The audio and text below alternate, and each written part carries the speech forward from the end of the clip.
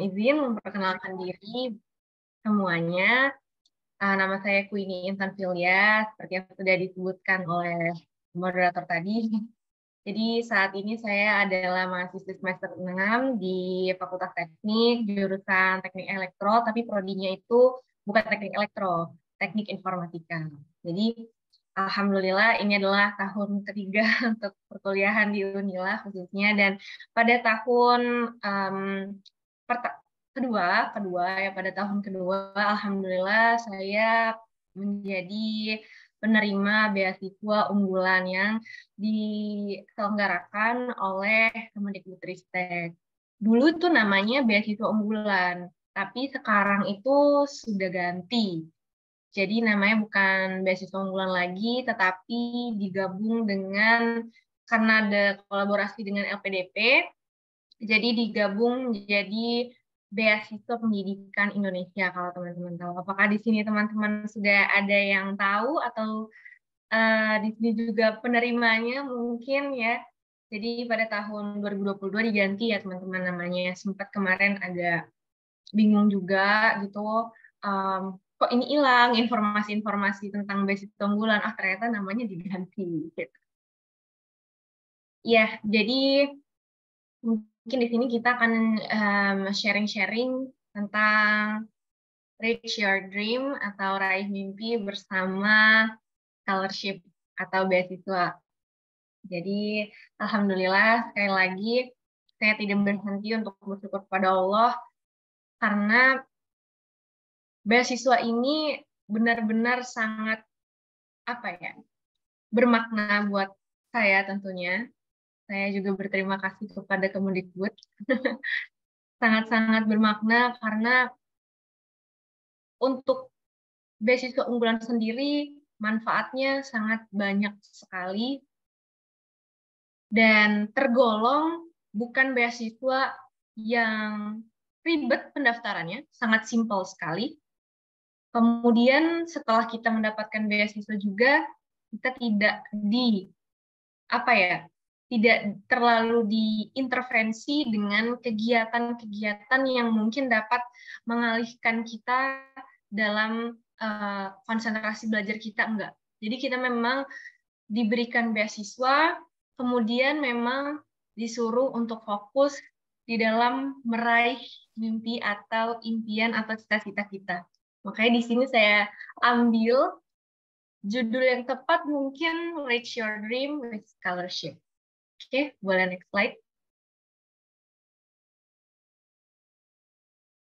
Oke, sebelumnya saya ingin disclaimer terlebih dahulu. Jadi pemaparan yang eh, boleh sebelumnya dulu ya, sebelumnya. Oke, sebelumnya mungkin saya disclaimer dulu ya teman-teman. Tadi ada slide sebelumnya bahwa um, pemaparan berikut ya adalah opini dari saya sendiri. Dan ini berdasarkan pengalaman pribadi saya di dalam uh, memperoleh beasiswa yaitu beasiswa unggulan. Sehingga mungkin jika ada tips and trick yang saya sebutkan itu belum tentu juga akan hasilnya sama pada orang lain karena belum diuji klinik mungkin ya dan harap cuman diambil yang baik-baiknya aja dan yang mungkin ada yang buruk-buruknya silakan tidak usah diambil boleh mungkin next slide jadi mungkin saya itu bakalan kebanyakan story ya cerita aja sebenarnya. Tapi nanti di sesi diskusi, teman-teman bisa nanyain detail atau menanyakan ya apa pun yang terkait mungkin beasiswa unggulan yang bisa saya jawab, akan saya jawab. Nah, sebenarnya dulu pas perjalanan beasiswa saya itu, saya tuh udah mulai-mulai mengincar beasiswa itu sejak SMA. Pokoknya saya kuliah harus uh, beasiswa seperti itu. Saya tapi belum ada uh, belum ada bayangan gitu. Apakah fully funded atau partial funded atau uh, berapa persen berapa persen belum ada belum ada. Kan ternyata banyak banget kan beasiswa itu uh, persentase pendanaannya. kemudian setelah saya memiliki keinginan gitu ya, uh, saya pengen beasiswa nih gitu, kayak orang-orang gitu kan. Mungkin awalnya kan kayak orang-orang gitu ya, namanya anak SMA. Tapi saya benar-benar abis itu nanya deep down lagi kepada diri saya, kenapa saya harus dapat beasiswa? Karena di dalam penyeleksian beasiswa itu, pasti kan kita bakalan ditanya uh, gitu ya, bakalan ada pertanyaan untuk kita, kenapa kamu daftar beasiswa ini? Nah, sebelum kita mendaftar beasiswa ya teman-teman, kita harus benar-benar menyusun, mempersiapkan jawaban dari pertanyaan kenapa sih kita harus mendapatkan beasiswa. Ya nggak mungkin dong saya menjawabnya, ya karena kayaknya sih enak ya dapat beasiswa. Atau uh, jawabnya biar keren aja dapat beasiswa. Itu semua benar sih. Enak kok dapat beasiswa. Terus juga keren, kelihatannya keren, kayak wah bergengsi dan sebagainya tapi nggak mungkin, nggak mungkin kita jawab seperti itu ya teman-teman. Jadi dulu saya itu banyak-banyak menggali uh, jawaban dari pertanyaan ini kepada diri saya sendiri. Kemudian saya juga selanjutnya, boleh next slide. Oke, okay, boleh next slide. Oke, okay, nah. Nah, setelah menemukan jawabannya ini ya, kan tadi saya uh, sebelumnya. Jadi setelah saya menemukan nih jawabannya, kenapa sih saya harus mendapatkan beasiswa dan berusaha untuk um, tidak hanya mencari jawabannya itu di dalam diri saya, karena jujur saja itu harus dicari juga dengan orang-orang yang berpengalaman. Mungkin slide uh, sebelumnya sebelumnya tadi ada yang kelewat. Boleh? Slide sebelumnya. Uh, sebelumnya. Oke, okay, ini. Jadi, oh ini sepertinya agak, jaringannya agak ini ya, agak terganggu ya. Selanjutnya, slide selanjutnya yang I started to enlarge my relation. Nah, ya ini. Nah, jadi saya itu setelah apa ya setelah udah punya bekal udah punya bekal kenapa saya harus mendapatkan beasiswa? Udah udah punya nih kata-kata penyusun eh kata-kata yang tersusun untuk um, ketika nanti ditanyakan gitu. Kemudian saya itu selanjutnya melebarkan atau meluaskan relasi tentu saja. Jadi jangan males-males nih buat teman-teman yang lagi ngejar atau jadi scholarship hunter itu jangan males-males untuk bersosialisasi untuk berelasi ya tentunya. Nah, terutama dengan scholarship awardee. Jadi misalnya teman-teman sekarang lagi mengincar sebuah beasiswa, terus kemudian teman-teman menonton di YouTube atau di Instagram atau di mana pun platform, kemudian di situ ada nih kayak awardee-awardee gitu. Misalnya di bionya atau kita tahu beliau ini penerima beasiswa apa, beasiswa apa, jangan malas dan jangan takut dan jangan ragu untuk ya udah kenalan aja dulu sama orang-orang tersebut. Karena penting banget ya kalau misalnya kita tuh um, sendirian, kalau misal kita tuh sendirian mempersiapkannya, kemudian tidak ada bimbingan, itu akan sangat sulit sih. Mungkin kok untuk keterimanya, mungkin sekali kok karena kita memang uh, unggul atau karena kita memang memiliki sesuatu di dalam diri kita punya nilai jual. Tapi alangkah lebih baiknya kita juga sharing nih sama teman-teman atau orang-orang yang sudah menjadi scholarship awardee. Seperti itu. Jadi dulu itu saya bukan pertama kali mendaftarkan beasiswa unggulan. Jadi saya itu dulu awalnya tidak menerima beasiswa sama sekali. Terus uh, saya membayar UKT seperti biasa, tetapi saya itu dulu bahkan uh, berteman atau berjejaring sampai belajar bahasa Turki karena saya ingin mendapatkan beasiswa dari pihak penyelenggaranya Turki. Nah, saya pengen dapat beasiswa dari sana. Jadi saya pura-pura bukan pura-pura juga sih, saya berusaha lah ya. Saya berusaha berelasi dengan orang-orang pelajar Indonesia yang sudah mendapatkan uh, beasiswa tersebut. Kemudian saya diajarin bahasa Turki setiap hari pusing-pusing. Padahal saya sudah kuliah di sini sebenarnya. Tapi saya itu tadi mentalnya yang di set adalah jangan malas, jangan malas untuk berelasi. Ya even random uh, ngobrol, kemudian temenan, kemudian punya apa ya koneksi sama orang Turki dan belajar bahasa mereka itu random banget ya sebenarnya. Itu tapi dijalanin, semuanya dijalanin gitu. Boleh next slide.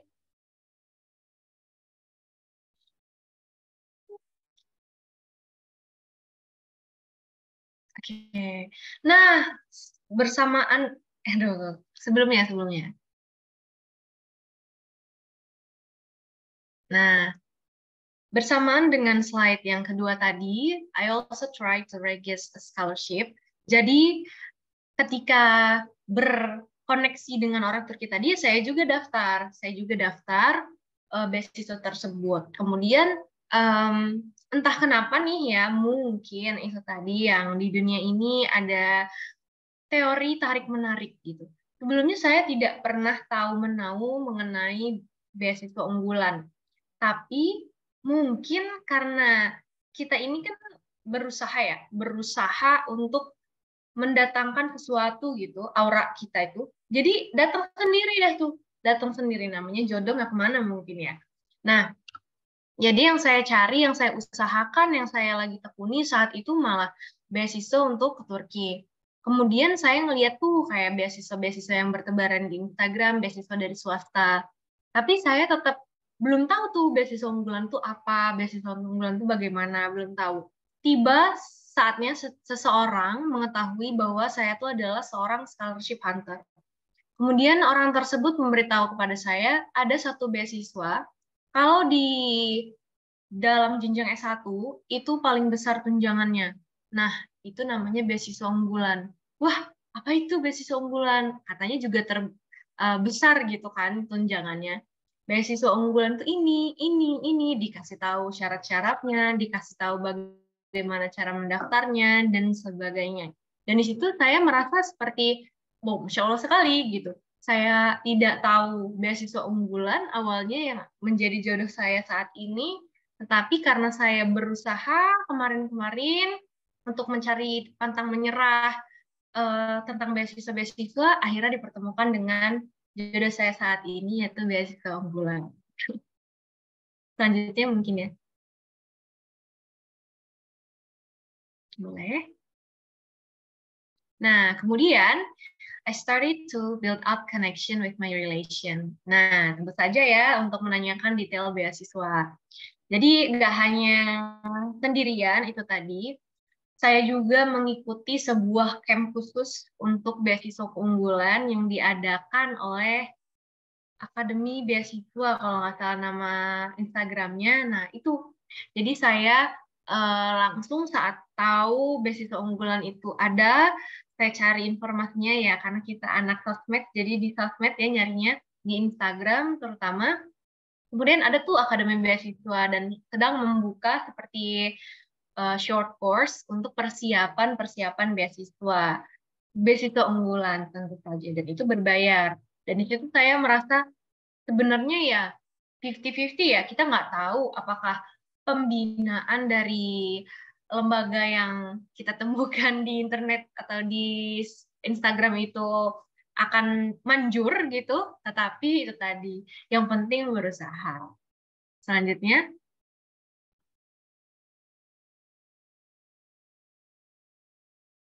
Nah, ini yang paling lumayan ya, lumayan untuk uh, kita harus bisa berkompetitif itu di bagian analyzing scholarships requirements atau menganalisa apa aja sih yang dijadikan kewajiban kita atau memenuhi persyaratan itu gimana gitu. Nah, tapi ada poin yang sangat saya um, highlight di sini atau yang sangat saya garis bawahi di sini, yaitu tentang belajar memantaskan diri.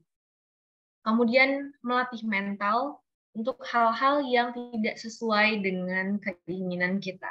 Jadi di, da di dalam propose atau di dalam melamar suatu beasiswa, pekerjaan dan apa pun itu, ya kita tahu ya waktu kita masuk kampus kita juga 50-50 antara keterima atau enggak, pesimis dan optimis. Kita tuh kadang-kadang datang dan pergi, datang dan pergi, kadang-kadang optimis, kadang-kadang pesimis, seperti itu ya teman-teman. Dan itu semuanya adalah hal yang wajar, perasaan yang wajar saat kita memang sedang ingin memantaskan diri untuk sesuatu gitu. Kita udah berusaha, kita udah berusaha tentunya sebelumnya. Kita udah mempersiapkan mental kita, tetapi sometimes kita juga lupa untuk menyediakan sebuah ruang di dalam diri kita untuk hal-hal yang tidak sesuai dengan keinginan ini. Jadi saya itu kemarin total empat beasiswa yang saya daftarkan sebelum beasiswa unggulan dan itu tertolak mentah-mentah semua saya merasa sangat kecewa, iya pernah, sangat sedih, iya juga, karena saya sangat-sangat ingin bisa mandiri, tidak bergantung kepada orang tua, tidak menyusahkan orang tua lagi gitu. Otak saya mikirnya kayak gitu. Tapi kenapa ditolak terus ya? Nah, jadi di sini um, saya mau kasih tahu juga tentang beasiswa unggulan apa aja requirement requirement yang dibutuhkan uh, di dalam beasiswa unggulan atau BPI namanya sekarang. Jadi kalau misalnya teman-teman anak PNS boleh daftar, anak bukan PNS boleh daftar. Um, pokoknya kita anak siapa pun boleh daftar. Nah, kemudian juga tentang ekonomi. Apakah yang diterima di beasiswa unggulan itu orang-orang yang berekonomi cukup atau kehidupan ekonominya sedang atau rendah. Semuanya. Ya. Jadi semuanya memiliki kesempatan. Ya, sekali lagi saya tekankan semua memiliki kesempatan. Jadi dari ekonomi yang tinggi sampai yang mungkin diberikan ya kurang itu berkesempatan yang sama di dalam mendaftarkan dirinya di dalam beasiswa unggulan gitu.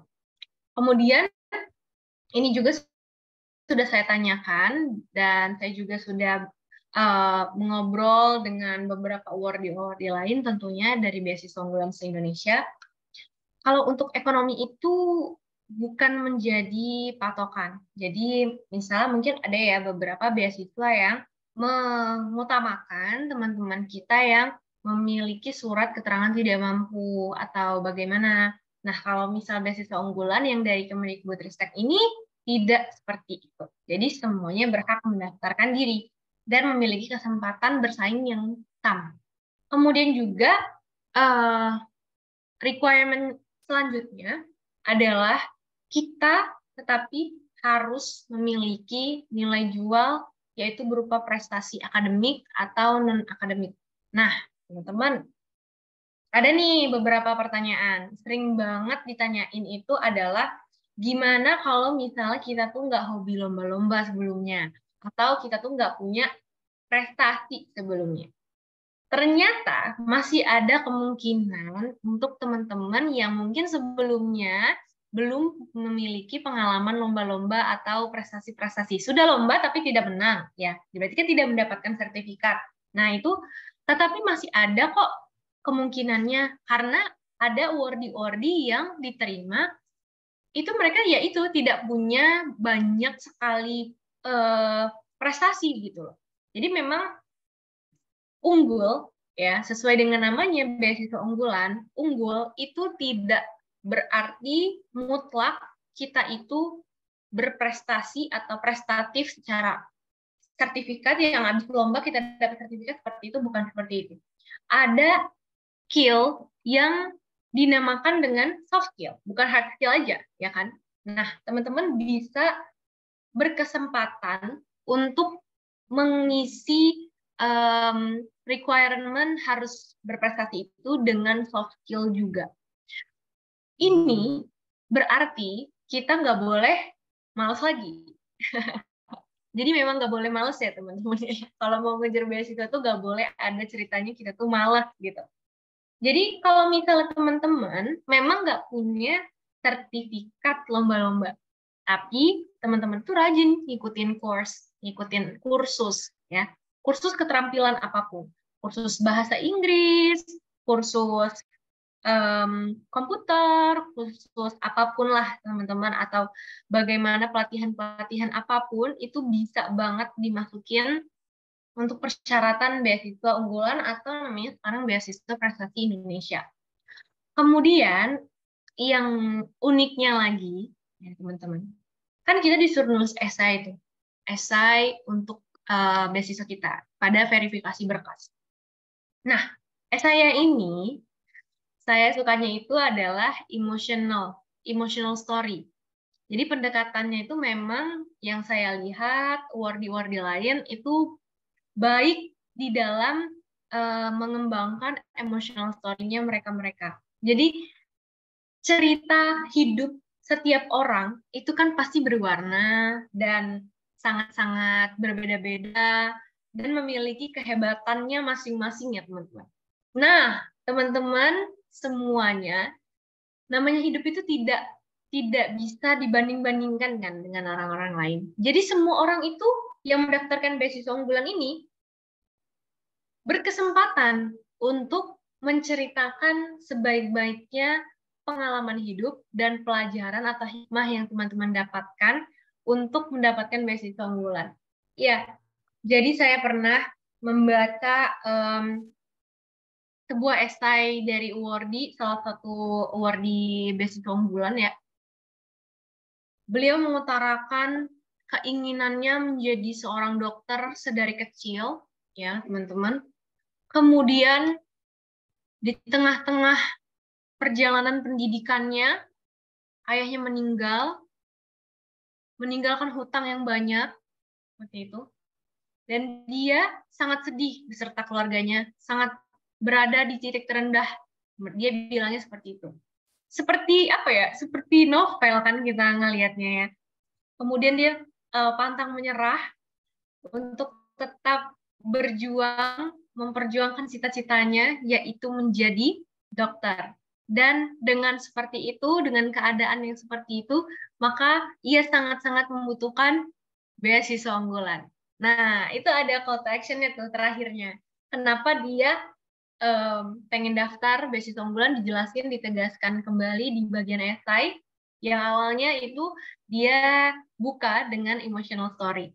Semua orang pasti punya. Semua orang pasti punya ceritanya masing-masing. Jadi teman-teman saya sarankan ya, yang sedang ingin mendaftarkan beasiswa, salah satunya teman-teman harus mendaftarkan diri teman-teman di beasiswa unggulan ini. Mungkin kalau di Universitas Lampung itu agak kurang digaung-gaungkan sekali, mungkin ya.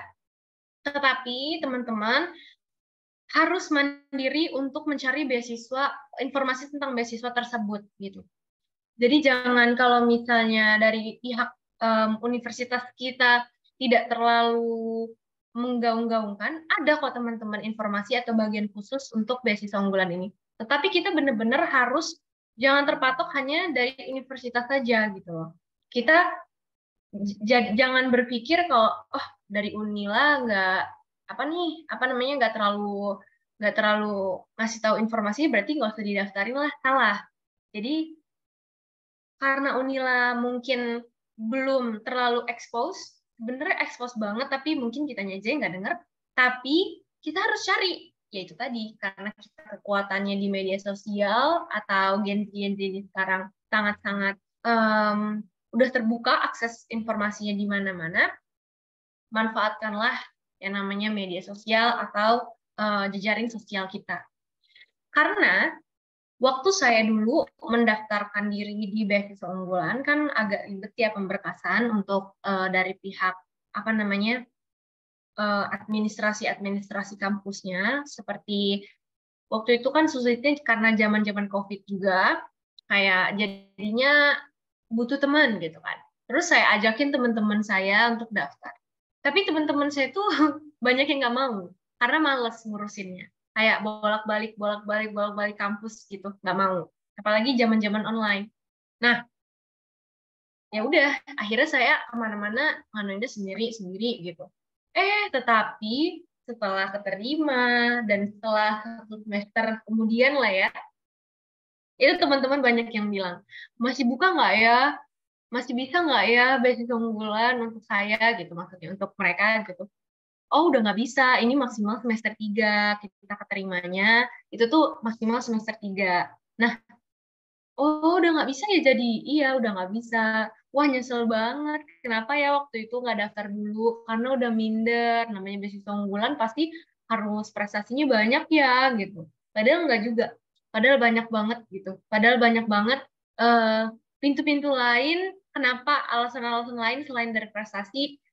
Kenapa kita harus diterima beasiswa unggulan? Jadi yang penting nyoba dulu ya teman-teman.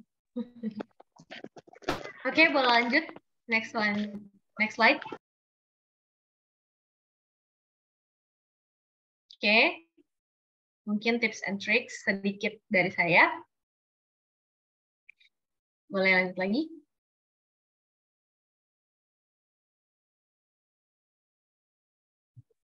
uh, lanjut bukan ya oke okay.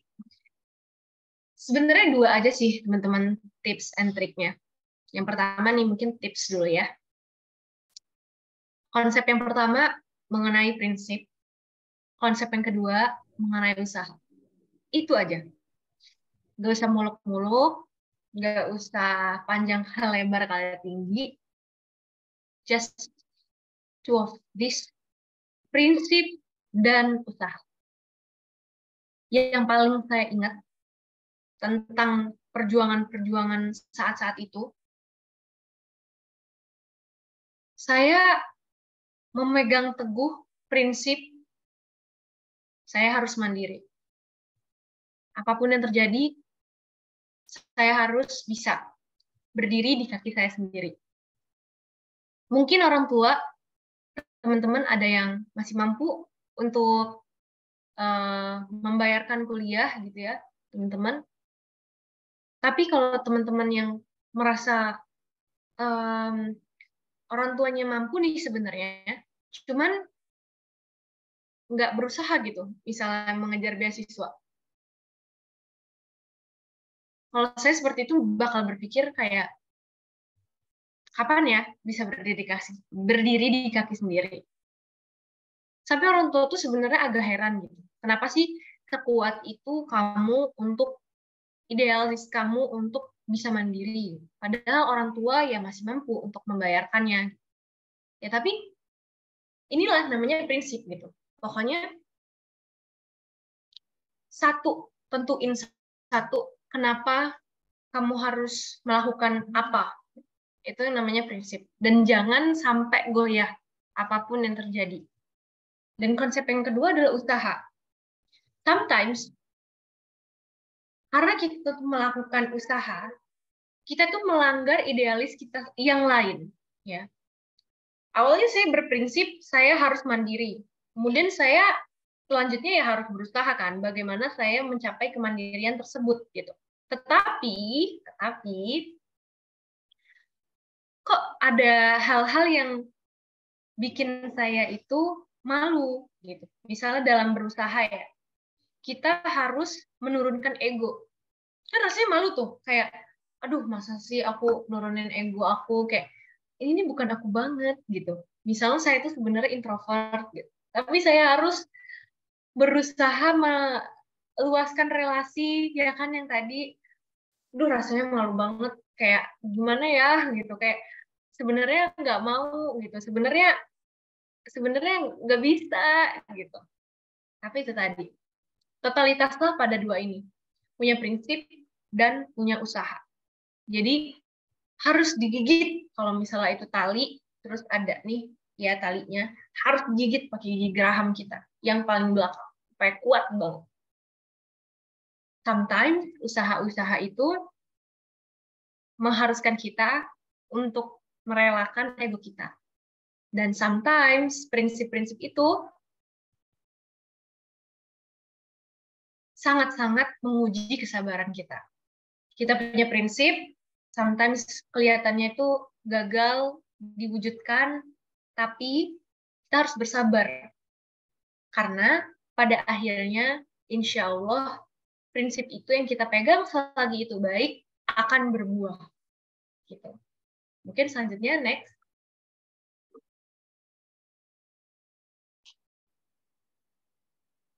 Yang pertama, tipsnya mungkin dari tiga hal ini. Yang pertama, manifest. Jadi selain um, tentuin satu hal yang paling kita pengenin, kemudian kita berusaha, yang pertama itu kita harus manifest. Manifest itu gimana sih? Ya, kita kirim afirmasi-afirmasi positif kepada semesta, ya, bahwa kita tuh bisa, bahwa kita tuh mungkin, bahwa kita tuh akan gitu. Jadi bukan dikit-dikit kita nggak bisa, dikit-dikit kita mana mungkin, dikit-dikit kita um, dan sebagainya. Hal-hal yang meragukan dan membuat kita merasa tidak bervalue seperti itu jangan sampai dimanifestkan gitu ya jangan sampai gitu atau diem-diem aja nggak pernah manifest ke alam semesta gitu kayak ah gini-gini aja udah bahagia kok hidupnya kita jangan. Kalau kita nggak pernah nyoba-nyoba terus apa serunya hidup ini? Gitu kan. Dan yang kedua prinsipnya kalau saya waktu itu adalah menolonglah maka kamu akan ditolong. Ya. Jadi um, ada beberapa kejadian-kejadian di dalam proses beasiswa itu yang memungkinkan sebenarnya saya itu untuk ya saat itu tidak peduli ya dengan teman-teman karena satu keadaannya COVID, uh, dua karena teman-teman saya juga uh, ya sekedar online friend aja gitu, nggak nggak pernah ketemu secara langsung gitu. Saat itu kita ada beberapa orang yang mendaftar bareng, tetapi mereka itu seperti waktu itu ya waktu itu seperti menitipkan semuanya itu kepada saya jadi itu untuk mengurusi berkas orang lain yang padahal kita aja belum tentu lulus kemudian uh, gimana kalau yang lulus yang ditolongin gitu kan tapi itu tadi menolonglah karena kamu akan ditolong ya udah saya terapin itu aja ya udahlah kalau misalnya nggak keterima dan dia yang keterima, ya berarti saya berpartisipasi walaupun kecil sekali, ya dalam kesuksesan orang lain. Itu pun sudah bikin saya senang kok. Gitu. Dan yang ketiga, Tuhan paling mengetahui apa yang kita butuhkan.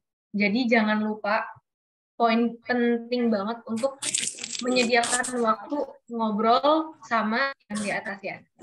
Karena yang paling tahu itu memang Tuhan kita gitu ya, yang paling tahu apa yang kita butuhkan. Kalau kita sudah berprinsip Tuhan yang paling mengetahui apa yang kita butuhkan dan kita tidak terima, kita tidak diterima atau belum dikasih rezeki di dalam beasiswa ini, insya Allah kita tidak akan merasa terlalu sakit hati karena mungkin ya bukan ini yang kita butuhkan gitu. Jadi um, kita tidak terlalu kecewa. Next slide. Nah, kalau usaha mungkin tips and yang pertama ya uh, Tuhan jangan lupa untuk selalu berdoa. Berdoa apa? Selain berdoa untuk uh, diterima ya beasiswanya, usaha-usahanya dilancarkan dan sebagainya. Itu kita juga berdoa untuk kita bisa bijak gitu. Bijak dalam apa? Bijak di dalam mengurusi semua hal. Menurut saya sangat penting kebijakan atau kebajikan di dalam proses menyiapkan beasiswa. Karena bisa jadi karena kita itu tadi ego kita tidak bisa kita imbangi, kita tidak bisa um, bijak, kita tidak peduli dengan orang di sekitar kita. Ya, Misal, karena kita terlalu sibuk uh, mengurusi beasiswa, kita mengabaikan orang-orang di sekitar kita tanpa kita sadari. Dan itu tidak bijak tentu saja. gitu. Masa iya kita ingin uh, mencapai sesuatu dengan cara menyakiti orang lain. Tidak mungkin kan? Terus kemudian kita berdoa untuk dikuatkan atas ketidaksempurnaan kita. Tentu saja semua usaha kita yang kita lakukan itu tidak sempurna ya teman-teman. Dan kita berdoa untuk dikuatkan di dalam ketidaksempurnaan kita ini. Karena yang bisa menguatkan kita, yang bisa menjadikan kita baik itu hanyalah Allah Subhanahu wa taala atau Tuhan kita. Dan kemudian selanjutnya yang paling penting atau yang perlu di-highlight lagi dari sekian perjalanan beasiswa saya itu saya mempelajari tentang jangan takut berbeda. Nah, di sini isu jangan takut berbeda atau takut berbeda itu sangat krusial sekali ya teman-teman. Jadi mungkin teman-teman um, suka uh, berpikir dua kali atau tidak jadi melakukan sesuatu karena hal yang ingin dilakukan itu berbeda dengan orang-orang pada umumnya. Terus takut dikatain aneh, takut dikatain A, B, C, D, E, F, H, I, J. Padahal sebenarnya kita tuh cuma perlu misal kita menginginkan sesuatu, kita perlu menanyakan ke diri kita, apakah keinginan tersebut bijak? Maksudnya, misalnya ketika kita ingin meraih beasiswa dan beasiswa tersebut memiliki persyaratan kita harus eh, banyak-banyak memiliki prestasi. Gitu. Jadi kita harus mengejar lomba-lomba. Gitu. Nah, kemudian ada nih orang-orang yang mungkin tidak sependapat dengan kita. Kamu kenapa sih? Kamu kan mahasiswi kedokteran terus tapi kamu tuh lomba-lomba terus kenapa kamu kebanyakan kegiatan nanti kamu nggak bisa uh, ini itu dan sebagainya. Opini-opini lain yang terbukti kemudian hanya opini itu kan dan sebagainya jangan pernah kita hiraukan. Eh jangan pernah kita tanam ke diri kita intinya. Jadi kalau misalnya itu baik kemudian kita sudah berdiskusi juga dengan orang tua gas aja friend. Langsung aja, nggak usah ragu-ragu. Karena beda itu yang dicari, gitu. Jadi di beasiswa unggulan ini, semakin kamu unik, menurut saya, semakin peluang diterimanya akan semakin tinggi. Gitu. Jadi misalnya waktu itu, pas ditanya saya anak teknik nih, kamu jurusan apa? Teknik elektro, Pak. Wah, anak teknik nih, gitu. Teknik harus hitam, gitu kan tapi prestasi-prestasi saya tuh ada putri hijab, ada modeling, maksudnya yang gimana ini ya gitu. Kok perempuan tapi teknik, tapi kadang-kadang ikut kontes kecantikan juga, tapi uh, tapi gimana, tapi gimana aneh kan kelihatannya mungkin bagi beberapa orang. But ya yeah, itu yang membawa untuk bisa gitu.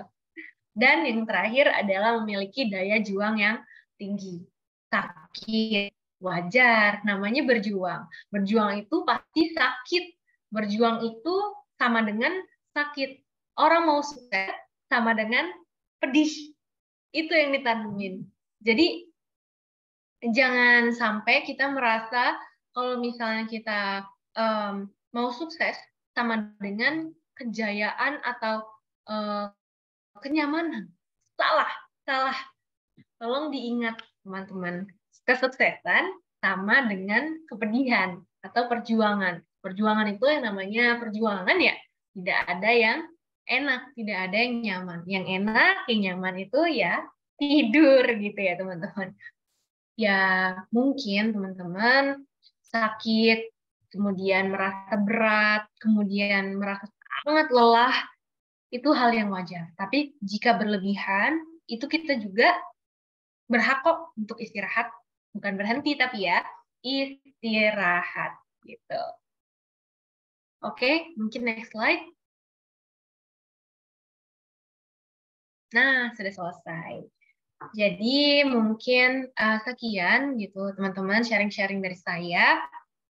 Apabila teman-teman memiliki pertanyaan, boleh banget kita diskusi dan kita cari jawabannya bareng-bareng kalau misalnya saya nggak bisa jawab di sini sekarang.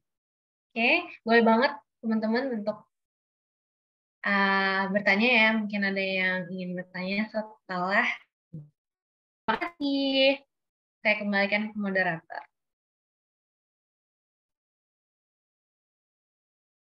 Baik, terima kasih kepada Kak Kwini atas penyampaian materinya. Nah, di bawah kita di sesi tanya jawab bagi teman-teman yang ingin bertanya, boleh banget ya. Yang ingin bertanya silahkan aktifkan fitur hand dan selanjutnya akan saya beri kesempatan untuk menyampaikan pertanyaan kepada materi kita Kak Kwini.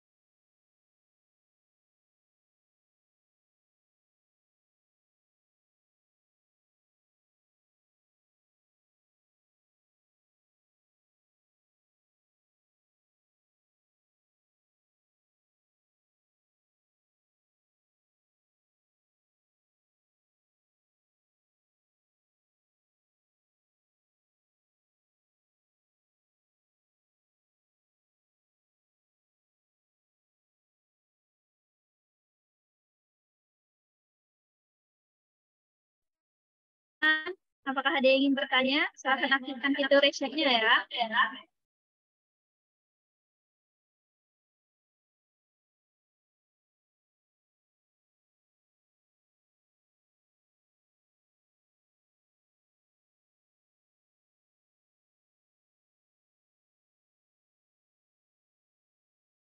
Baik nih, ada teman kita yang ingin bertanya kepada Saudari Mariski, waktu dan tempat saya persilakan untuk bertanya kepada Kak. Baik, sebelumnya uh, terima kasih atas kesempatannya. Sebelumnya izin maaf ya uh, off cam karena agak sedikit terkendala di sini. Uh, ya yang izin izin bertanya. Uh, sepengetahuan saya untuk mendapatkan beasiswa di dalam negeri ini kan lebih sulit ya, uh, lebih sulit bersaingnya karena jumlah pendaftar itu dibanding siswa yang ada di luar negeri. Nah, bagaimana ya Kak cara tips and tricks supaya kita bisa lulus di persaingan di antara banyaknya pendaftar beasiswa dalam negeri itu? Sekian dari saya, terima kasih.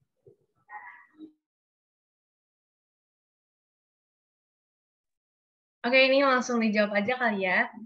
Uh, makasih sebelumnya pertanyaannya. Ya pasti ini jadi overthinkingnya banyak orang.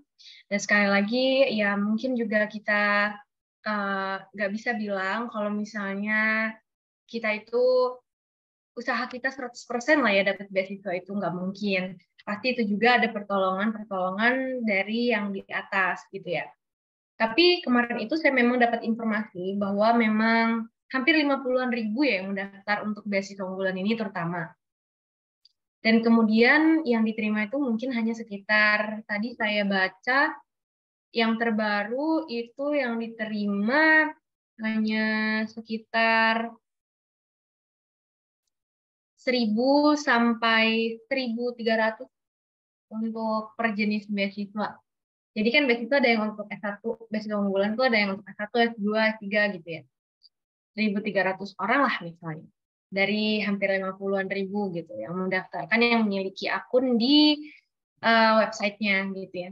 Nah terus bagaimana ya kak untuk uh, kita bisa mungkin ya berpeluang berpeluang untuk diterimanya gitu. Jadi kalau misalnya teman-teman, um, saya saranin ya buat teman-teman yang ingin mendaftarkan beasiswa unggulan, ini akan dibuka, eh sudah dibuka sekarang sudah dibuka ya teman-teman, itu um, jangan mepet-mepet mengumpulkan berkas-berkasnya, kemudian jangan sampai seperti saya, saya hari terakhir, hari terakhir banget baru ngumpulin berkas-berkasnya dan itu sangat sulit sekali karena websitenya ngebug. dan jangan seperti saya, kalau bisa hamin-hamin seminggu sudah selesai berkas-berkasnya. Dan kemudian teman-teman memang uh, itu tadi jangan jangan takut untuk benar-benar obral. Tahu nggak sih kalau misalnya kita uh, jualan gitu ya teman-teman harus dikeluarin semua gitu. benar-benar apa yang ada di hidup kita, kita tuh bisa harus bisa mencari mutiaranya. Gak mungkin tiap orang itu tuh eh, setiap orang pasti memiliki mutiara di kehidupannya masing-masing. Keluarin semuanya yang unik-unik, yang hebat, yang berkesan, semuanya dikeluarin. Jadi jangan ragu, ini sertifikat aku pernah les renang, uh, masukin nggak ya? Masukin. Terus ini uh, sertifikat aku pernah ikut kayak course melukis gimana ya masukin semua masukin semua pernah punya karya apa pun karyanya itu walaupun bukan karya ilmiah ya karya novel kemudian cerita-cerita atau apa pun dimasukin apalagi yang um, yang akademik gitu masukin juga semuanya jadi gimana caranya kita bisa berusaha kalau kita itu mampu dikatakan unggul. Jadi memang harus pede banget gitu, harus pede, terus apa ya, harus benar-benar ya enggak enggak aku harus masuk, aku harus masuk walaupun itu kelihatannya rame ya kerumunan orang kalau digambarin enggak aku harus masuk, aku harus masuk. Bisa kok aku bisa, aku bisa kok gitu. Jadi semuanya itu yang kita punya kita cantumin di verifikasi berkas gitu. Nah, kalau misalnya ada, nih nggak ada banget, saya terangkan ulang, bisa kita tulis esai seindah mungkin, terjual diri kita di esai itu. Gitu. Kalau menurut aku sih kayak gitu ya, terutama yang beasiswa unggulan. Apakah menjawab, Mariski? Baik, terima kasih Kak atas jawabannya. Sama-sama. Boleh yang ini langsung aja ya, apa gimana? Ini ada yang raise hand. Enggak, jadi boleh untuk selanjutnya Saudari Fatin Jalpanan, saya persilakan untuk bertanya kepada Kak ini. Uh, Kak, mau tanya, uh, gimana sih caranya menstabilkan rasa semangat yang sering kadang semangatnya uh, turun semangat banget, tapi kita pengen siswa itu Kak, cara menstabilkan rasa semangat kita itu gimana Kak? Oke, okay. banget ya. Masih cara menstabilkan semangat karena di ajar itu naik dan turun banget. Pertama, dia bisa naik karena mungkin motivasi kita lagi high atau lagi tinggi-tingginya. Tapi namanya motivasi itu paling cuman beberapa jam doang gitu. Besoknya bangun tidur udah nggak semangat kan apalagi dalam mengurus beasiswa itu sangat melelahkan pasti ya ke diri sendiri banyak banyak ngobrol sih sama diri sendiri kita dalam terutama dalam mengejar beasiswa gitu ya. Kita tanya lagi sama diri kita sendiri jadi kamu maunya apa? Kayak nanya sama orang yang kita sukain lah gitu. Kalau misalnya ngambek gitu kan kita bujuk gitu. Kayak kamu maunya gimana? Ngomong ngomong sendiri gitu. Mungkin kayak orang gila gitu ya tapi it's okay gitu. It's okay kalau sekarang gitu. Tapi loh kita tuh kan lagi pengen berusaha itu ada beasiswa dan beasiswa itu ya nggak mudah dicapainya. Diomongin baik-baik kepada diri kita sendiri diajak baik-baik kembali untuk on the track. Yuk kita on the track lagi yuk gitu. Insya Allah bakalan berubah. Nah kemudian langkah selanjutnya adalah nah aku punya highlight nih buat teman-teman semua. Uh, mungkin sebuah quote ya. Kalau motivasi itu cuman bikin kita semangat ya itu tadi beberapa saat saja. Tapi sebenarnya yang bikin kita berhasil itu bukan motivasi-motivasi tapi disiplin. Disiplin apa nih? Wah disiplin serem banget ya disiplin. Pasti semua orang takut ya kalau sama disiplin. Saya pun juga merasa berdamai gitu dengan kata kata disiplin. Tapi maksudnya di sini yang paling penting adalah kita disiplin dulu bahwa kita memiliki prinsip tidak akan menyerah. Jadi apa pun rintangannya, mungkin kita akan terhenti karena apa yang kita lalui itu sangat sulit sebentar, tapi kita tidak akan menyerah. Itu, itu disiplin memiliki prinsip tidak akan menyerah. Dan kemudian kita bisa selanjutnya cari mungkin kalau saya sendiri itu cari video-video yang bikin adrenalin ini bangkit lagi. Bikin adrenalin ini memicu diri saya lagi untuk bergerak lagi, untuk fokus lagi. Jadi boleh nggak itu, wajar banget. Sekali lagi diterima dulu emosi-emosinya, tetapi jangan bikin kita berhenti. Tuh. Gimana ngejawab nggak? Terjawab, Kak. Terima kasih, Kak. Sama. Baik, terima kasih teman-teman. Apakah ada yang ingin bertanya lagi? Ya, ini ada berikut ya.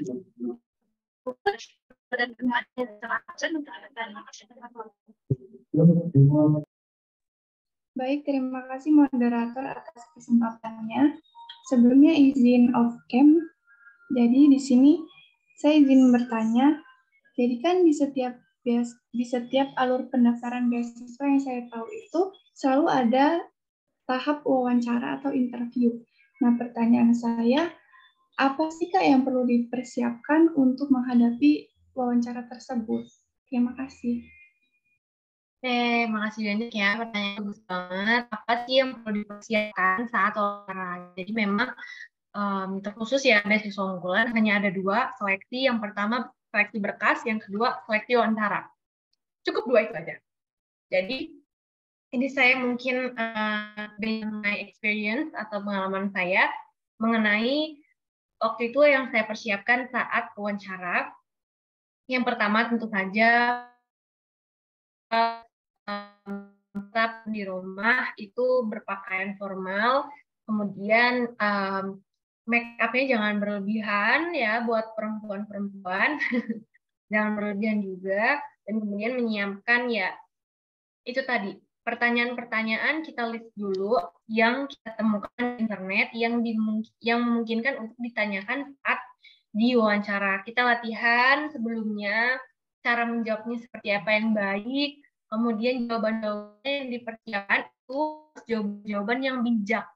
Jangan terlalu jual jual kita harus gimana ya? Kita harus nge-branding diri kita yang baik, tapi jangan juga uh, gimana ya? Terlalu futuristik yang tidak mungkin gitu. Misal misal kita ini anak astronomi gitu ya. Uh, ya nanti pengen ke bulan, Pak, gitu saking semangatnya dalam mengejar cita-cita gitu ya tanpa teori-teori atau yang langkah yang realistis gitu jawabnya langsung kita nanti mau ke bulan pak gitu nggak mungkin gitu kan nggak mungkin bapak ini juga tahu kalau kita ya sangat sulit gitu kan ke bulan nah tapi kita bisa menjawabnya dengan jawaban-jawaban um, yang tetap nge-branding diri kita namun itu masih realistis jawaban yang realistis. Jangan pernah berusaha untuk ngibulin orang gitu ya. Jangan berusaha untuk orang. Tapi kita juga harus mempersiapkan bekal yang itu akan um, melebeli baik diri kita gitu ya. Itu bisa membranding diri kita. Jadi yang pertama kita harus jaga personal branding, kita harus buat personal branding yang baik di dalam diri kita Kemudian nanti yang kita presentasikan adalah gagasan-gagasan um, atau apa yang kita lakukan gitu di lima tahun ke depan, 10 tahun ke depan. Kita juga tuh persiapin gitu rencana-rencana kita. Supaya kalau ditanya rencana kamu abis ini apa, itu kita nggak langsung uh, ke depan gitu ya teman-teman. Nah kemudian juga bisa mulai dari uh, mungkin dua minggu sebelum wawancara, teman-teman itu latihan untuk berbicara dengan diri sendiri. Kata-kata saat wawancara. Gugup itu kita bingung mau ngomong apa. Nah, kalau misalnya itu kita bisa latih atau antisipasi dengan berbicara uh, dengan diri sendiri untuk mendeskripsikan benda-benda. Random aja kalau misalnya kita lagi longgar, terus kita mendeskripsikan laptop apa yang kamu ketahui tentang laptop, bagaimana laptop itu bekerja, kemudian uh, apa yang kamu inginkan, spek apa yang kamu inginkan. Kayak kita tuh ngomong, memang sebelum wawancara itu karena yang dilatih, eh yang dinilai saat wawancara kan kemampuan berbicara dan meyakinkan pewawancaranya. Jadi yang pertama tadi uh, personal brand jangan lupa, Kemudian jangan lupa untuk berlatih meyakinkan atau negosiasi di pewawancara. Dapat dipahami? Cukup, Kak. Terima kasih. Baik, sama-sama.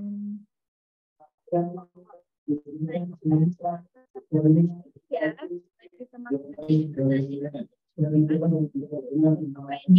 Saudari Dwi Abdul, Saudari Dwi, dari depan, salah satu pertanyaan. Baik, sebelumnya izin off cam ya, Kak. Saya ingin bertanya pada Kak Queenie, apakah sebagai penerima beasiswa KIP kuliah masih ada kesempatan untuk mendaftar beasiswa School Arship ini? Terima kasih.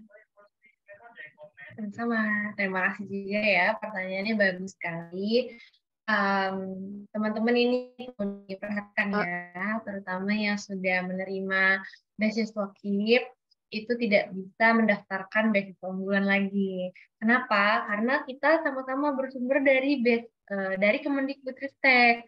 Jadi peraturannya di beasiswa unggulan apabila sudah menerima beasiswa unggulan itu tidak boleh menerima beasiswa mana pun termasuk uh, yang luar-luar sih kalau misalnya terlalu apa ya terlalu kalau misalnya beasiswa luar boleh kalau misalnya beasiswa luar boleh tapi kalau dari sama-sama dari Kemendikbud tuh nggak boleh jadi kalau misalnya teman-teman yang kuliah mau dapat beasiswa saya sarankan teman-teman untuk mendaftarkan dari pihak swasta gitu Apakah terjawab?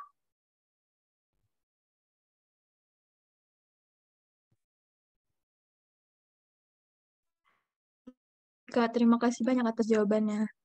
Ya,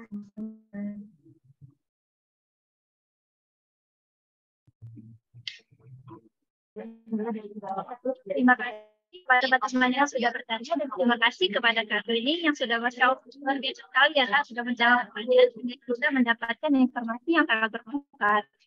Jadi karena pertanyaan semua sudah dijawab oleh baik oleh Kak Queenie, maka berakhirlah sesi tanya jawab pada kesempatan kali ini. Jadi, beasiswa ini penting bagi kita untuk meluaskan atau melebarkan relasi dengan malas untuk berrelasi karena ini berbeda banget di antaranya kita bisa mendapatkan informasi dan kita juga bisa menambah teman. Dengan mendaftar beasiswa, kita bisa belajar mengatasi diri dan melatih mental kita untuk hal yang tidak sesuai dengan keinginan kita. Semua orang itu memiliki punya kesempatan yang sama untuk mendapatkan beasiswa unggulan dengan prestasi nilai jual seperti akademik maupun non akademik. Tetapi ada loh skill yang dinamakan soft skill. Jadi teman-teman semua yang sebelumnya tidak ada lomba-lomba itu bisa dimasukkan sebagai persyaratan beasiswa. Ini ada yaitu kamu skripsi dan kamu juga harus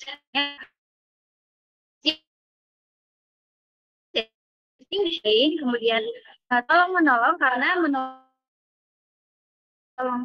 maka kamu akan ditolong gitu. Kemudian kan paling mengetahui apa yang kita butuhkan. Selanjutnya usaha. Tujuan triknya yaitu pertama jangan takut berbeda dan kita harus mempunyai daya juang Nah, terima kasih kepada Kak Rini yang sudah menyempatkan waktunya untuk berbagi ilmu dengan kita semua.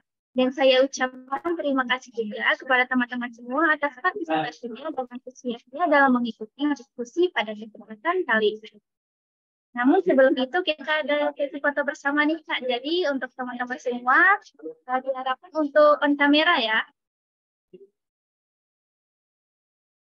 Pak. Untuk teman-teman semua diharapkan untuk kamera harap kita ada sesi foto bersama.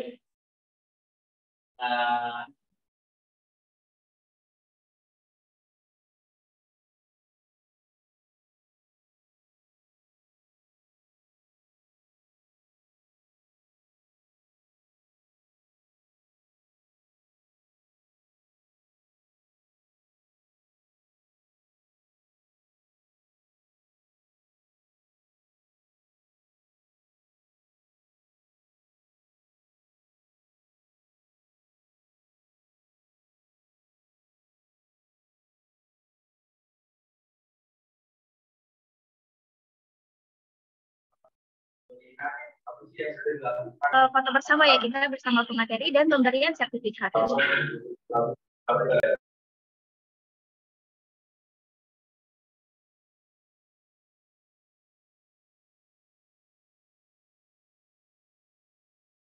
Baik, satu dua, dan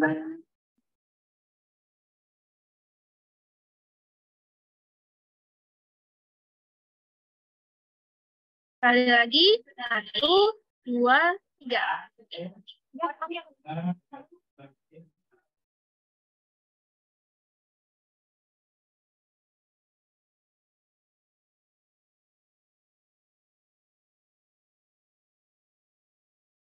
Salah satunya adalah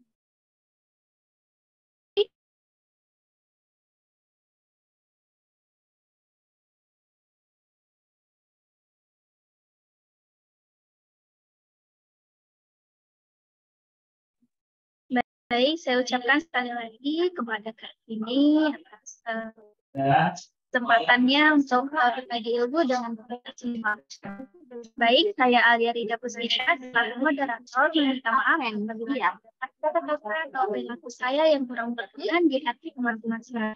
Terima kasih. Saya akhiri. Wassalamualaikum warahmatullahi wabarakatuh. Waalaikumsalam warahmatullahi wabarakatuh.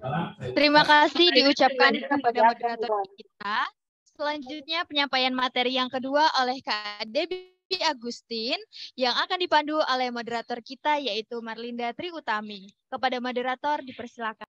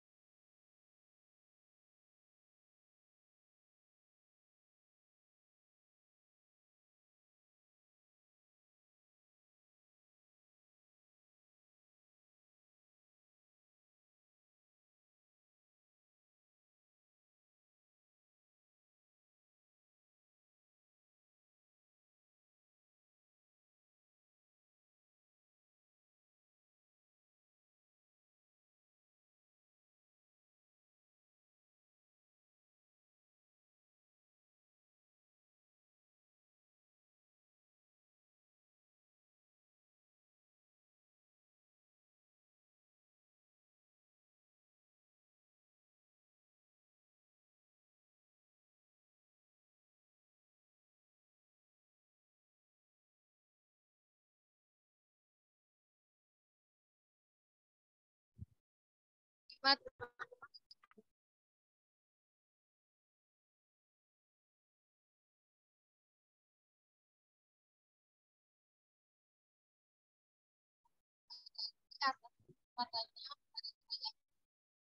Thank you.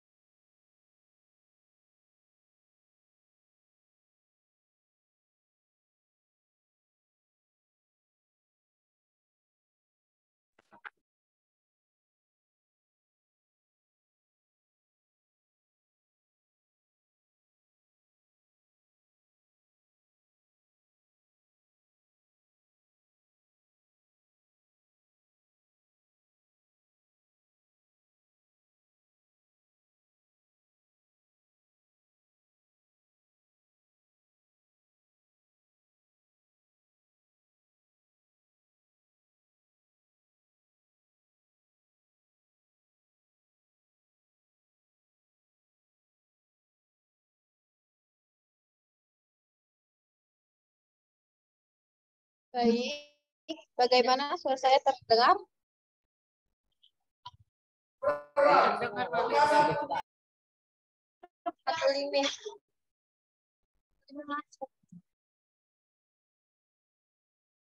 Oke, saya saya buka kembali ya teman-teman. Assalamualaikum warahmatullahi wabarakatuh. Waalaikumsalam warahmatullahi wabarakatuh. Izin memperkenalkan diri, saya Marinda Dutami sebagai moderator yang akan memandu jalannya penyampaian materi dan sharing session pada kita yang kedua ini. Oke, saya sini mau nanya dulu nih sama teman-teman. Masih pada semangat kan untuk nyimak materi kita yang kedua?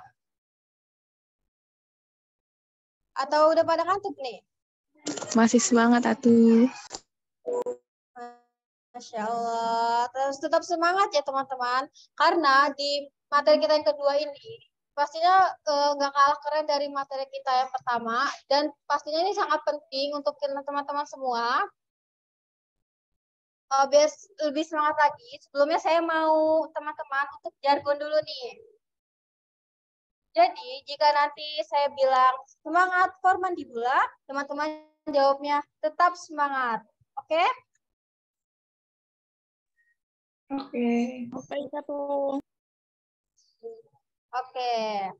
Semangat for mandibula. Semangat. Semangat. Semangat for mandibula. Tetap, tetap semangat. Masya Allah. Semoga teman-teman tetap semangat untuk ikutin tutak ini sampai akhir nanti.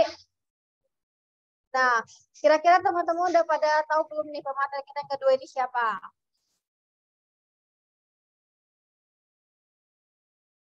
Oke, aku kenalin aja ya sama teman-teman.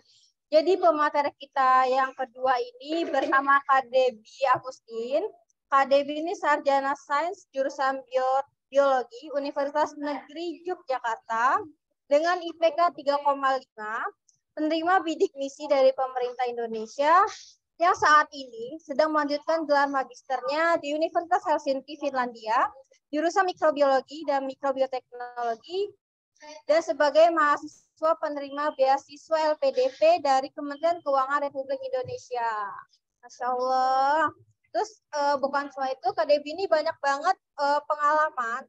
Di antaranya itu sebagai analis laboratorium COVID-19, KB Genomics Inolab Laboratorium Klinis, bergabung bersama grup molekular lingkungan penelitian biosains Departemen Mikrobiologi Universitas Helsinki, Finlandia, bergabung bersama grup screening bioaktivitas program penelitian obat dan divisi farmasi biosains Fakultas Farmasi Universitas Helsinki, Finlandia, sebagai duta mahasiswa di Universitas Helsinki, Finlandia, pendiri Indonesia Scholarship Hunter, sebagai pembicara pada acara terkait pendidikan dan beasiswa di Indonesia.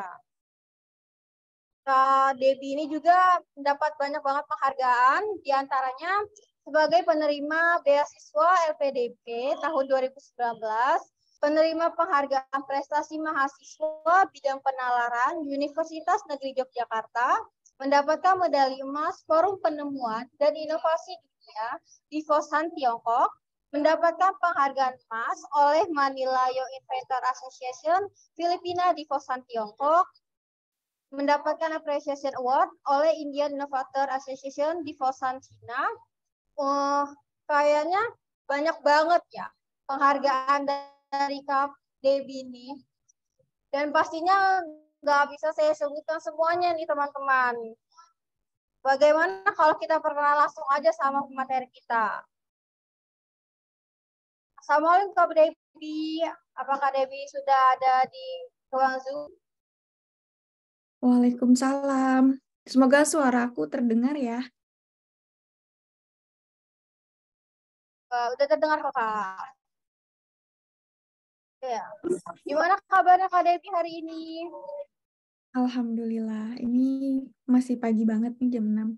Tapi sekarang kan udah mau memasuki summer ya, lagi spring. Jadi uh, matahari sudah terbit jam tigaan.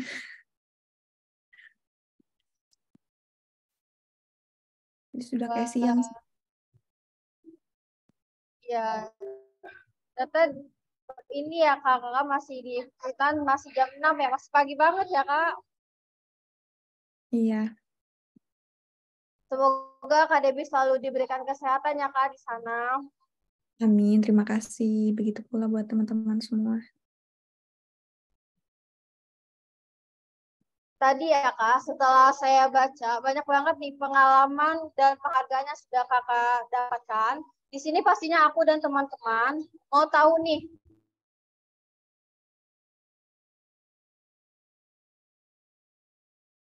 itu mungkin di sini kakak bisa memberikan sedikit cerita, sedikit semangat untuk kita untuk bagaimana sih caranya biar dapat beasiswa dan dapat penghargaan kayak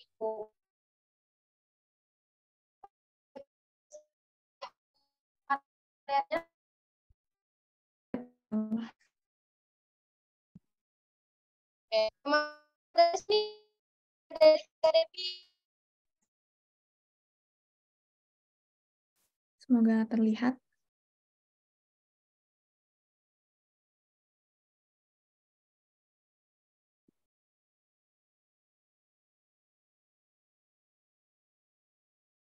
Ya. Assalamualaikum warahmatullahi wabarakatuh. Selamat pagi buat teman-teman semua. Jam 10 masih pagi lah ya di Indonesia juga. Uh, selamat pagi buat teman-teman semua. Pagi, Kak. Pagi, Kak. Uh, sebenarnya ini apa ya? Teman-teman sudah meluangkan waktu di hari Sabtu ini, di weekend gitu kan, untuk mendengarkan sesi diskusi, sesi sharing itu sudah sangat baik sekali ya. Apalagi buat teman-teman yang masih S1 seperti itu yang tentu saja uh, ini akan menjadi salah satu bahan ini ya apa persiapan juga buat teman-teman karena pastinya saat kita mau daftar beasiswa atau daftar apa pun itu kita harus mencari informasi sebanyak-banyaknya. Ya salah satunya dengan mengikuti seminar atau webinar seperti ini. Sedikit cerita, aku juga waktu uh, pertama kali tahu tentang LPDP juga pada saat aku S1. Jadi bukan pada saat udah lulus, tapi memang sudah tahunya dari saat S1. Jadi ibaratnya sama seperti di fase teman-teman saat ini gitu. Makanya persiapan dari awal dari dari teman-teman S1 ini benar-benar membantu aplikasi pendaftaran uh, beasiswa teman-teman nantinya. Nanti kita um, cek satu-satu ya.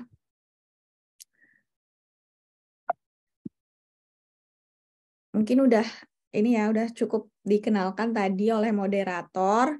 Saat ini aku sedang studi uh, master di University of Helsinki, ambil microbiology and microbial biotechnology.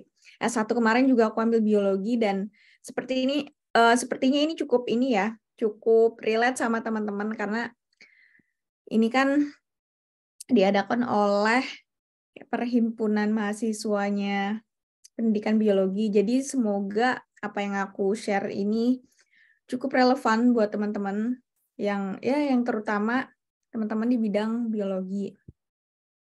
Karena memang uh, aku merasa bahwa apa yang aku lakukan pada saat S1, pada saat kuliah itu itulah yang benar-benar membantu aku saat aku daftar LPDP ini. Oke. Okay. Uh, selain aku kuliah, aku juga aktif di beberapa kegiatan. Salah satunya yang sekarang sedang dilakukan itu aku bergabung di Alto Helsinki IGIM Team. Jadi IGIM itu adalah Synthetic Biology Competition around the world. Jadi uh, kita uh, kayak bikin project, kemudian kita lakukan project itu dan kita presentasikan kayak gitu. Dan itu eventnya uh, sedunia kayak gitu. Nah, uh, mungkin aku langsung aja ya masuk ke pembahasan tentang LPDP. Sebenarnya aku yakin uh, beasiswa LPDP ini sudah cukup familiar ya buat teman-teman semua. Uh, mungkin generalnya aja LPDP ini dari Kementerian Keuangan, tapi sebenarnya sekarang sudah bekerja sama dengan beberapa kementerian. Makanya ada beasiswa kayak misal beasiswa bersama uh, Kemendikbud. Jadinya kan kalau nggak salah BPI kayak gitu kan. Terus juga sebenarnya ada kayak uh, beasiswa yang bekerja sama dengan Kementerian Agama kayak gitu kan. Jadi kan ada kan banyak banget gitu. Jadi sebenarnya LPDP itu sendiri juga selain LPDP berdiri sendiri ada juga uh, memang beberapa jenis beasiswa yang memang bekerja sama dengan kementerian lain selain dari Kementerian Keuangan itu sendiri. Nah, LPDP ini memberikan uh, beasiswa untuk studi magister dan juga doktoral. Jadi memang uh, diperuntukkan buat teman-teman yang udah lulus S1 ya, teman-teman. Dan ini tujuannya nggak cuma untuk dalam negeri aja, tapi di seluruh dunia. Makanya buat teman-teman yang berkeinginan untuk belajar di negara mana pun sebenarnya ini udah diakomodir oleh LPDP karena pilihan universitasnya itu banyak banget hampir di uh, semua negara yang ibaratnya uh, punya kampus-kampus bagus itu pasti ada. Tuh. Nah, ini jenis beasiswa LPDP yang benar-benar LPDP-nya ya teman-teman. Ada kategori beasiswa umum, beasiswa afirmasi, dan juga beasiswa targeted. Dari beasiswa umum mungkin yang kita udah sering tahu itu beasiswa reguler. Dan juga sebenarnya ada beasiswa perguruan tinggi utama dunia, itu biasanya buat eh, teman-teman misal sudah punya surat tanda diterima dari kalau nggak salah 20 besar universitas gitu. Jadi 20 besar peringkat universitas di dunia. Itu ada jalurnya tersendiri. Nah, kemudian di beasiswa afirmasi itu ada beasiswa putra-putri Papua, beasiswa daerah afirmasi, prasejahtera, dan juga penyandang disabilitas. Nah, pada tahun 2019 aku daftarnya itu beasiswa afirmasi tapi untuk jalur alumni bidik misi karena aku alumni bidik misi dan pada saat itu ada jalur tersebut. Nah, kalau sekarang memang jalur tersebut sudah tidak ada, tetapi buat teman-teman yang alumni bidik misi atau memang berasal dari keluarga tidak mampu, itu teman-teman bisa daftar uh, di jenis beasiswa prasejahtera. Untuk uh, persyaratan khususnya nanti kita bahas. Kemudian beasiswa targeted, ini ada beasiswa kewirausahaan, beasiswa untuk PNS, TNI, dan Polri. Kemudian juga ada beasiswa dokter spesialis dan beasiswa pendidikan kader ulama. Jadi sebenarnya LPDP ini sangat ini ya, sangat merangkul berbagai kalangan gitu. Dari Sabang sampai Merauke, uh, semua latar belakang kayak gitu. Makanya tinggal kitanya nih, kita mengidentifikasi kita ini cocoknya di jalur mana, kayak gitu. Kemudian um, komponen pendi pem, ini ya pendanaan dari beasiswa PDP. Jadi beasiswa PDP ini termasuk beasiswa yang ini ya terbaik gitu loh sedunia. Jadi kalau misalkan ya kita ngobrol sama eh, teman-teman dari negara lain pasti mereka kagum oh ini ya keren banget ya Indonesia bisa ngasih beasiswa all in kayak gini gitu. Selengkap ini gitu. Karena kita benar-benar dibiayai nggak cuma dana pendidikannya aja ada juga dana pendukungnya kayak gitu. Tentu saja dari tuition fee SPP kemudian biaya pendaftaran itu diganti sama LPDP kemudian ada juga tunjangan buku 10 juta per tahun kemudian ada bantuan penelitian sudah pasti. Dan kalau untuk yang luar negeri itu untuk apa namanya untuk magister itu kalau untuk lumsum itu 40 juta. Tapi kalau untuk disertasi bisa sampai 100 juta kalau nggak salah. Kemudian ada bantuan seminar juga dan juga publikasi jurnal. Selain itu eh, ada dana transportasi tentunya. Jadi kalau teman-teman berangkat ke universitas tujuan pasti teman-teman biaya tiketnya diganti atau teman-teman juga bisa minta LPDP langsung yang mesanin jadi emang nggak perlu nggak perlu reimburse nantinya kayak gitu juga bisa. Kemudian tentu saja uh, biaya aplikasi visa atau resident permit itu ditanggung. Kemudian asuransi kesehatan dan tentunya biaya hidup bulanan. Nah besarannya berapa itu tiap negara beda-beda dan itu apa ya kalau di kalau dikategorikan ya cukup gitu. Jadi memang nggak yang buat hura-hura, tapi teman-teman bisa cukup hidup dengan layak dengan uh, dana hidup bulanannya LPDP. Kemudian ada dana kedatangan. Jadi dana kedatangan ini besarnya dua kali uh, biaya hidup bulanan. Tapi karena dia besarnya dua kali, eh, teman-teman akan mendapatkannya itu yang satu kalinya itu sebelum berangkat. Jadi ibaratnya bekal nih. LPDP udah ngasih bekal teman-teman sebelum berangkat dan yang satunya itu ibaratnya 50 persennya ya itu pada saat teman-teman udah datang di negara tujuan kayak gitu. Jadi teman-teman nggak perlu khawatir sebenarnya. Jadi dari awal itu LPDP juga udah ngasih ibaratnya uang sakunya kayak gitu. Kemudian bagi yang nanti emang daftarnya program doktoral itu juga ada biaya tunjangan keluarga. Itu. Nah, untuk seleksinya itu seperti apa? Sebenarnya proses uh, seleksi beasiswa PDP ini tahun ini ini mirip dengan tahun lalu. Tapi berbeda dengan tahunku. Kalau tahunku itu uh, di tiap seleksi ini ada ada tambahan seleksinya. Tapi kalau di sini sekarang udah udah ringkas ya, cuma dari seleksi administrasi, kemudian ada seleksi bakat skolastik dan juga seleksi substansi atau wawancara kayak gitu. Jadi cuma tiga tahap. Kemudian persyaratan umumnya mengenai usia, kemudian sudah lulus studi, tidak sedang menempuh studi S2 atau S3-nya, kemudian juga sudah memiliki IPK eh, yang sesuai gitu kan. Jadi setiap uh, setiap jalur beasiswa LPDP itu punya persyaratan khusus masing-masing. Ini persyaratan umumnya, gitu. Kemudian juga ada persyaratan bahasa tentunya. Kemudian memilih program studi dan kampus tujuan, membuat uh, surat rekomendasi sesuai format LPDP, kemudian menandatangani surat pernyataan, tentu saja menulis uh, esai ya, komitmen kembali ke Indonesia dan juga menulis uh, proposal penelitian bagi yang mendaftar jenjang doktoral. Nah, uh, saat teman-teman mau daftar beasiswa PDP, seperti yang tadi udah aku sampaikan, teman-teman harus bisa mengidentifikasi teman-teman cocoknya ini ambil jalur mana. Karena tiap jalur itu punya persyaratan khusus yang berbeda-beda yang teman-teman harus penuhi.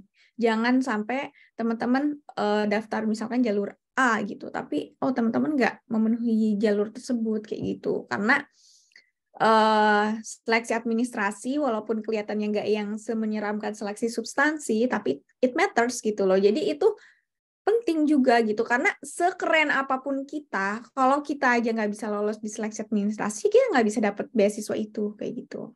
Jadi setiap uh, tahapan beasiswa ya kita harus optimal gitu kan Nah, kemudian ini langsung ya kita ke poin pentingnya. Tapi aku sebenarnya karena teman-teman di sini kan banyak kan S1 ya, jadi memang aku pengen ngajak uh, teman-teman buat kalau aku sih ngerasa kayak aku flashback gitu. Jadi apa yang aku lakukan pada saat S1 ya yang membuat aku uh, ibaratnya bisa um, mengumpulkan berbagai amunisi kayak gitu kan untuk mendaftar beasiswa ini. Jadi aku uh, lulus beasiswa PDP ini dalam satu kali percobaan ya teman-teman. Uh, jadi sekali daftar, aku langsung keterima Alhamdulillah. Dan aku merasa apa yang aku lakukan pada saat S1 itu adalah uh, salah satu yang membantu aku gitu. Karena pada saat itu kan aku daftarnya masih fresh graduate, jadi baru lulus terus daftar LPDP. Nah, pengalaman teman-teman pada saat S1 itu tuh benar-benar membantu teman-teman kalau teman-teman mau daftar beasiswa LPDP ini. Oke, yang pertama, teman-teman harus punya value. Kalau belum tahu value-nya dirinya apa, yuk kita simak ini. Uh, jadi value itu adalah hal yang apa ya menunjukkan bahwa teman-teman itu unik. Teman-teman itu beda sama orang lain. Jadi gini, uh, eh, LPDP itu tuh bukan beasiswa yang cuma nyari orang pinter misalkan atau orang yang karakter tertentu gitu. Enggak gitu. Jadi sebenarnya LPDP pastinya uh, punya memang punya kriteria sendiri tapi mereka pasti mencari kandidat yang memang genuine ya mereka unik juga gitu. Jadi Misal kayak gini, teman-teman pada saat melihat award di, di beasiswa khususnya LPDP misalnya, teman-teman jangan ada pikiran bahwa oh kakak itu mah keren dibilang ini ini ini gitu. Oh, oh kakak itu mah uh, aktif ini ini ini gitu. Jangan seperti itu gitu. Tapi kita tunjukkan bahwa diri kita juga unik karena pastinya kita ini punya nilai lebih juga gitu. Uniknya kita itu pasti ada gitu. Karena uh, apa ya? Jangan sampai dengan kita melihat orang lain atau ordi lain seperti itu, terus kita pengen berusaha jadi seperti itu. Itu salah besar ya teman-teman. Dan itu pasti nanti ketahuannya pada saat wawancara. Teman-teman ini apa adanya apa enggak nih gitu. Apakah cuma dibuat-buat kayak gitu. Nah, makanya memang kita harus bisa menunjukkan ya kita ini punya value gitu.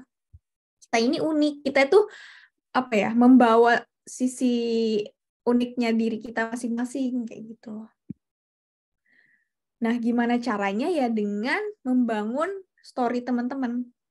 Apalagi teman-teman ini kan masih S1, teman-teman punya banyak waktu ya, masih banyak waktu gitu. Dibandingkan misalkan yang sudah lulus kayak gitu kan. Nah, kalau untuk yang S1, teman-teman banyak banget yang teman-teman bisa lakukan. Nah, tapi yang pertama, teman-teman harus menentukan passion teman-teman. Teman-teman sukanya tuh mengerjakan apa? Teman-teman apa ya, ibaratnya uh, saat mengerjakan sesuatu itu teman-teman eager nggak buat buat mendalami lebih ini ya lebih uh, dalam lagi gitu mempelajari lebih dalam lagi gitu.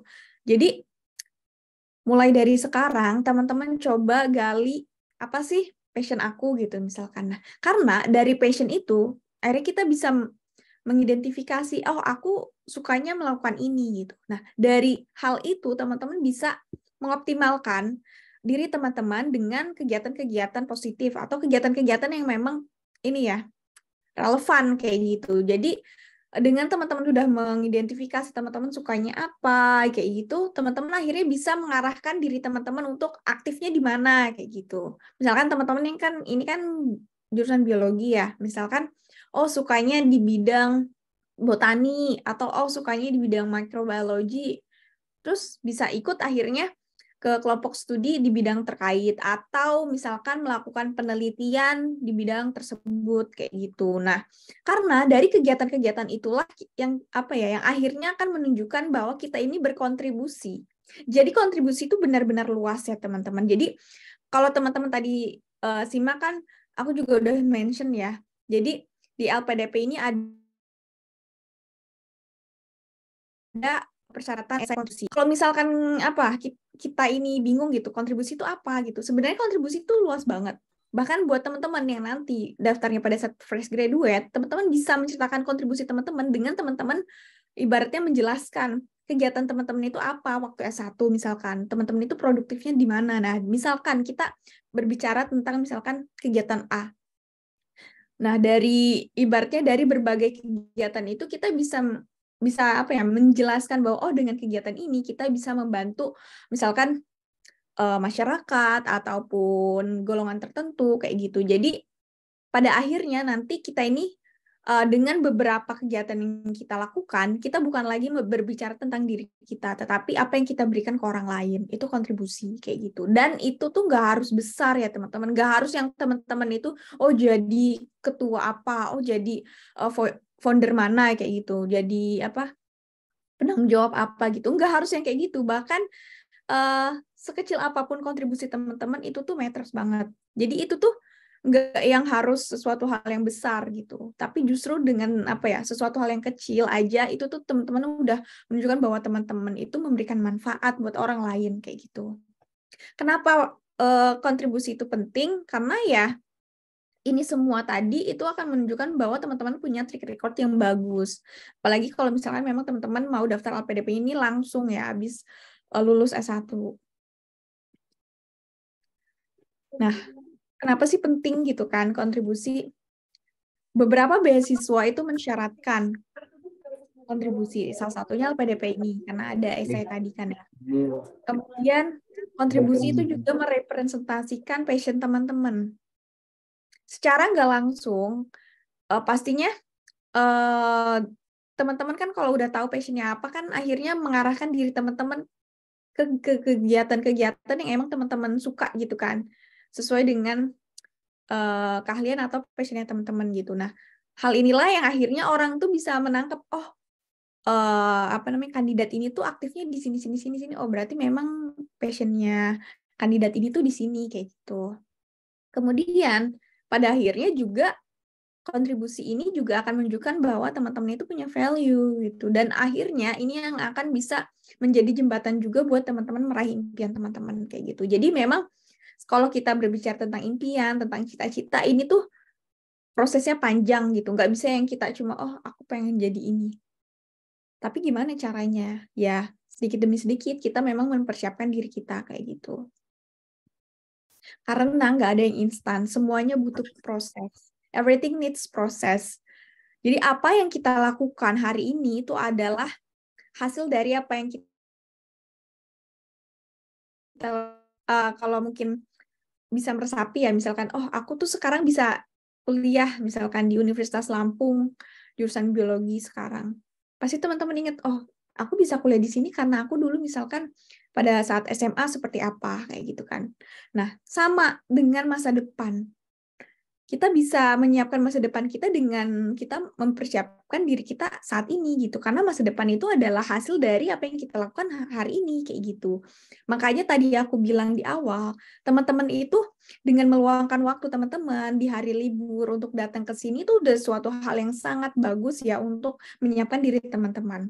Karena semua itu butuh proses dan orang sukses itu pastinya harus cinta proses karena gak ada yang instan ya teman-teman Nah, terus gimana caranya membangun track record yang bagus? Kalau kita berbicara uh, ini ya tentang anak-anak biologi gitu kan, sebenarnya banyak banget yang teman-teman bisa lakukan, terutama di bidang penelitian, di riset ya. Kemudian teman-teman juga uh, bisa aktif di misalkan ikut kegiatan training atau internship, magang itu juga bisa jadi pengalaman bagus kemudian seminar atau konferensi baik itu dalam negeri maupun luar negeri, kompetisi juga baik itu dalam negeri maupun luar negeri, volunteering juga sama, organisasi juga sama, itu juga penting kayak gitu. Jadi semua hal sebenarnya itu tuh benar-benar mendukung diri teman-teman. Jadi nggak ada uh, sebuah pengalaman pun yang sia-sia karena semuanya itu bermanfaat buat diri teman-teman sendiri sebenarnya. Walaupun memang nggak secara langsung, tapi pasti itu ada apa ya? Ada uh, ada dampaknya buat diri teman-teman. Pastinya soft skill teman-teman terasah ya. Kalau tadi kayaknya udah berbahas ini ya, udah pada bahas tentang soft skill gitu misalkan. Kayak gitu. Nah, kita coba cek. Nah, misalkan gini, teman-teman kan suka uh, misal di bidang mikrobiologi ya teman-teman bisa aktif di penelitian mikrobiologi kayak gitu misalkan atau teman-teman yang sukanya uh, tentang tentang lingkungan teman-teman juga bisa aktif di penelitian yang memang uh, cakupannya untuk penelitian ilmu lingkungan misalkan kayak gitu. Atau teman-teman memang passionnya memang mengajar karena pendidikan gitu kan. Pendidikan ya teman-teman misalkan bisa ikut kegiatan-kegiatan atau sebenarnya riset juga kan ada ya riset yang pendidikan kayak gitu. Jadi sebenarnya dengan apa ya dengan teman-teman mengenali diri teman-teman teman-teman bisa mengarahkan diri teman-teman oh akhirnya aku bisa aktif di mana di mana di mana kayak gitu. Ini salah satunya aku karena aku jurusannya biologi, aku dari biologi murni dan aku suka mikrobiologi, akhirnya aku aktif di penelitian mikrobiologi kayak gitu. Nah, contohnya ini uh, di program kreativitas mahasiswa kalau teman-teman sudah tahu. Jadi di program kreativitas mahasiswa ini kan banyak banget ya karena dia lima bidang itu ada penelitian eksakta terus ada penelitian humaniora juga kemudian ada kewirausahaan ada eh, pengabdian masyarakat dan kemudian juga ada karsa cipta. Jadi sebenarnya kalau kita cari gitu kan banyak banget wadah buat teman-teman itu bertumbuh buat teman-teman itu belajar kayak gitu. Jadi teman-teman tinggal ibaratnya tinggal mengenali diri teman-teman dan juga mencari informasi, mencari kesempatan-kesempatan itu karena banyak banget ya teman-teman. Kalau misalkan di tahun 2017 aja, misalkan aku tahu ada kegiatan-kegiatan ini, apalagi teman-teman di tahun 2023 ini yang semuanya serba digital, semuanya ada di Google gitu kan. Tinggal cari aja juga pasti keluar gitu, pasti muncul gitu. Nah, kalau yang ini uh, PIMNAS ini adalah muara dari kegiatan PKM tadi, dari penelitian tadi kalau aku ya. Jadi uh, PIMNAS ini adalah kayak ibaratnya ajang bergengsinya mahasiswa di Indonesia. Jadi tiap tahun uh, tuan rumahnya beda-beda dan di sinilah teman-teman juga akhirnya bisa apa ya melebarkan sayap ibaratnya teman-teman bisa uh, bernetworking dengan teman-teman dari universitas lainnya kayak gitu. Kemudian internship tadi yang udah aku mention. Jadi pastinya kan banyak kan dari teman-teman kalau misalkan memang ada mata kuliah wajib magang kayak gitu kan pasti kan milih tempat magang yang memang sesuai passion teman-teman gitu. Dan itu tuh benar-benar bagus banget kalau memang teman-teman bisa linear tuh kan bidangnya. Karena pasti kan namanya magang kita belajar banyak ya, malah belajarnya kadang uh, ada hal yang emang nggak nggak pernah diajarin pada saat di kelas kayak gitu atau di lab kayak gitu kan di lab kampus gitu tapi teman-teman dapetinnya di magang ini kayak gitu. Kemudian seminar tadi um, dengan kita mengikuti seminar kan kita bisa tahu ya oh yang lagi ngehits ini penelitian apa sih? Terus atau misalkan teman-teman ada ada interest di bidang tertentu. Nah teman-teman dengan teman-teman ikut di seminar tersebut teman-teman kan bisa tahu. Misalkan uh, untuk bidang tersebut ini tuh uh, metode yang bagusnya itu seperti apa? Terus penemuan penemuan yang terbaru itu seperti apa? Kayak gitu. Dan tentu saja ini juga memperluas networking teman-teman. Dan apalagi kalau teman-teman memang sudah punya penelitian teman-teman juga bisa mempresentasikan penelitian teman-teman kayak gitu. Di seminar maupun di nanti ya di konferensi itu juga sama.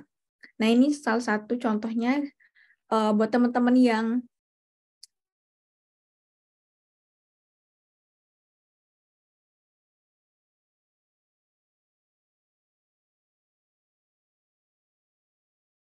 untuk kreatif, inovatif kayak gitu kan dan tentu saja memberikan kontribusi ya karena teman-teman membawa sebuah ide, sebuah solusi kayak gitu.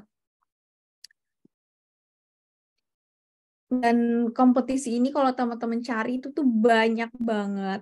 Hampir tiap bulan pasti ada informasi tentang lomba ya, baik itu lomba dalam negeri maupun lomba luar negeri. Nah ini contohnya pada saat aku sama teman-teman BEMku lomba di Malaysia dan ini yang di China di Foshan. Jadi uh, selama teman-teman itu aktif mencari informasi pasti teman-teman dapetin deh um, informasi tentang lomba baik itu dalam negeri maupun luar negeri yang memang worth it buat teman-teman ikutin.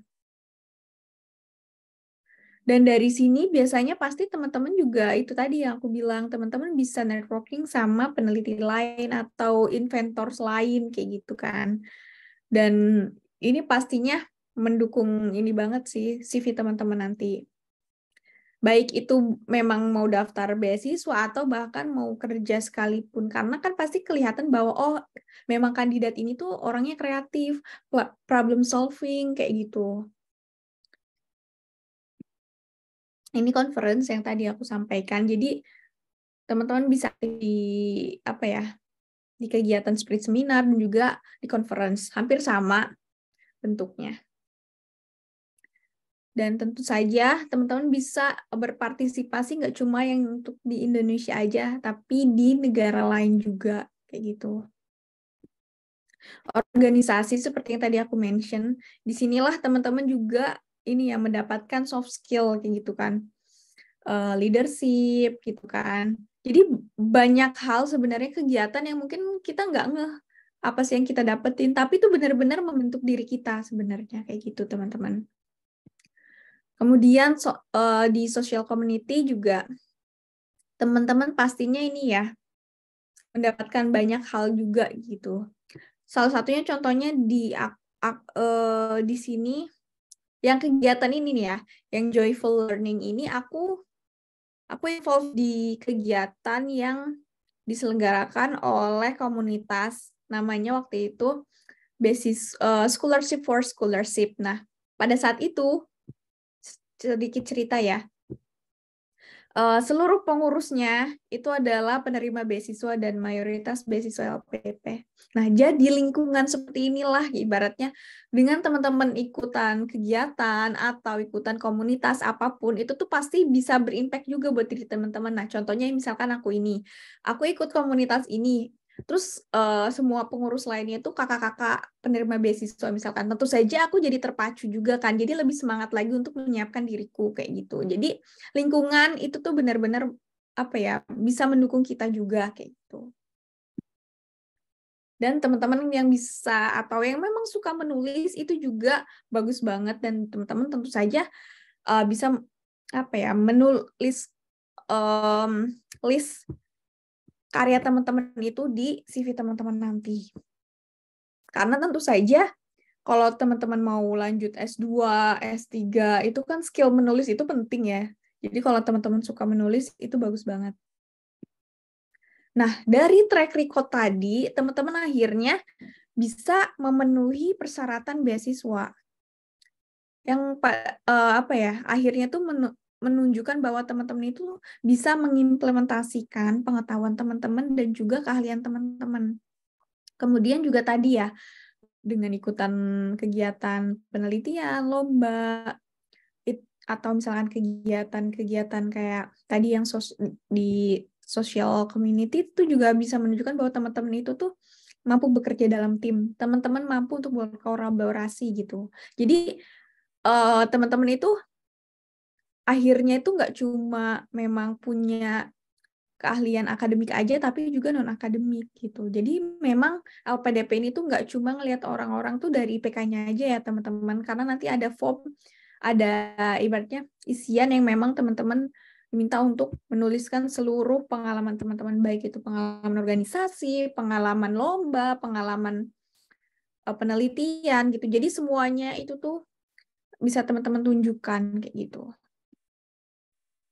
Nah, terus bagaimana caranya teman-teman mendapatkan sebuah beasiswa, terutama beasiswa PDP ini?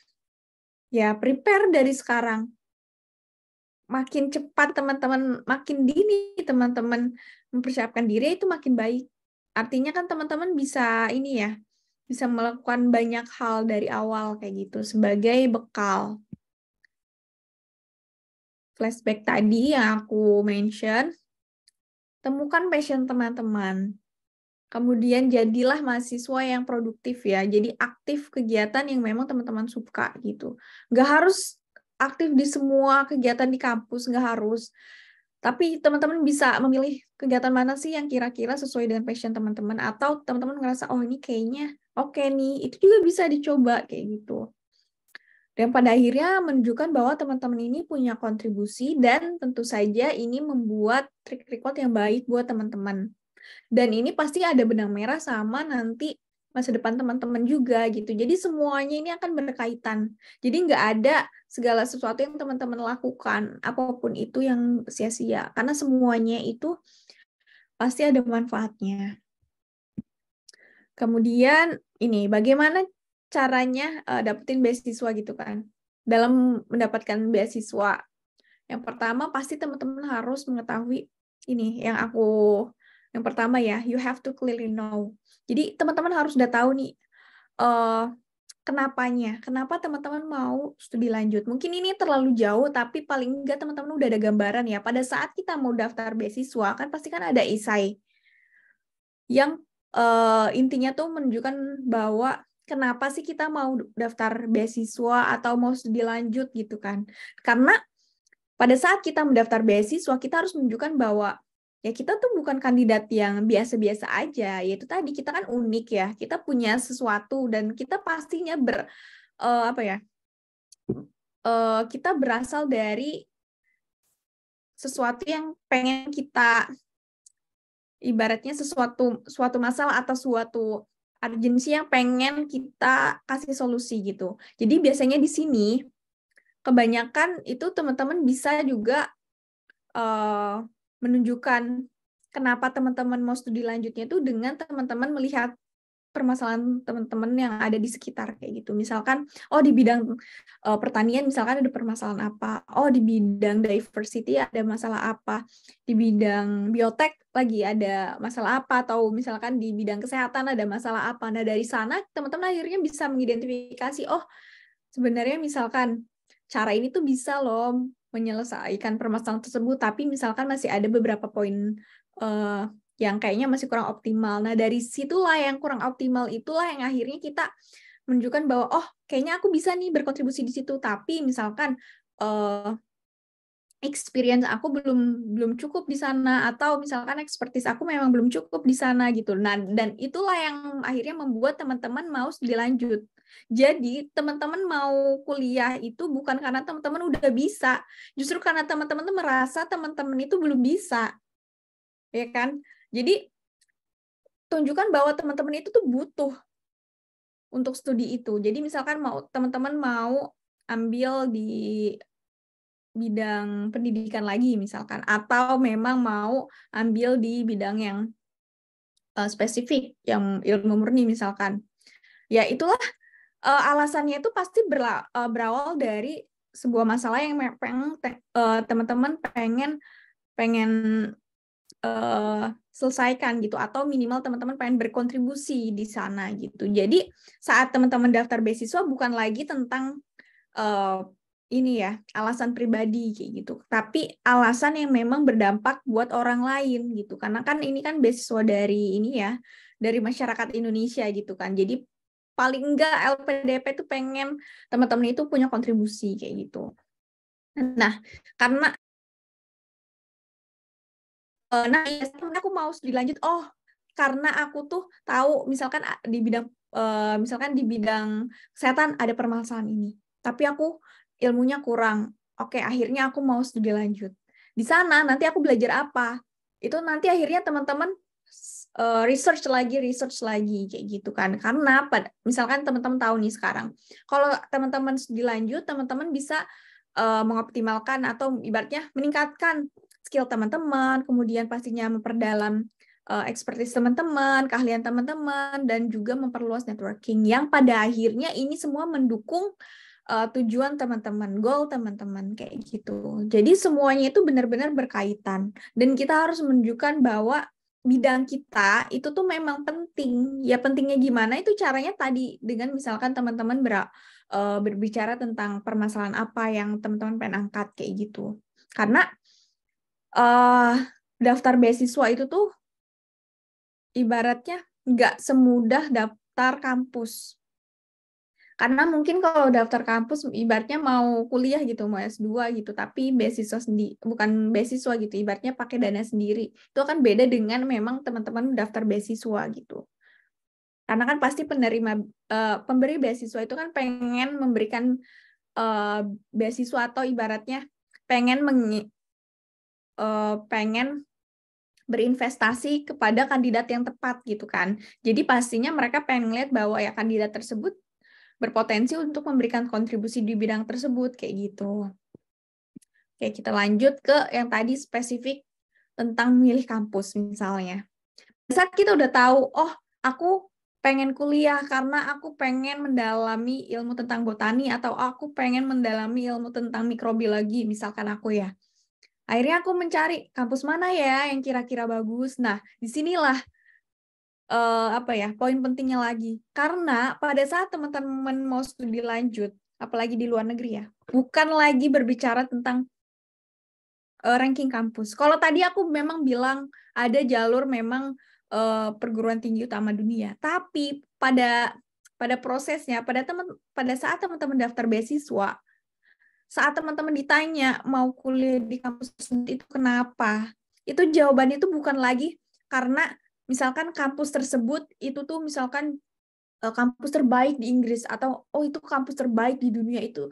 Misalkan teman-teman mau kuliah di MIT karena memang kampus terbaik di dunia nomor satu, peringkat nomor satu gitu. Itu tuh pasti itu adalah jawaban yang benar-benar jangan sampai teman-teman katakan.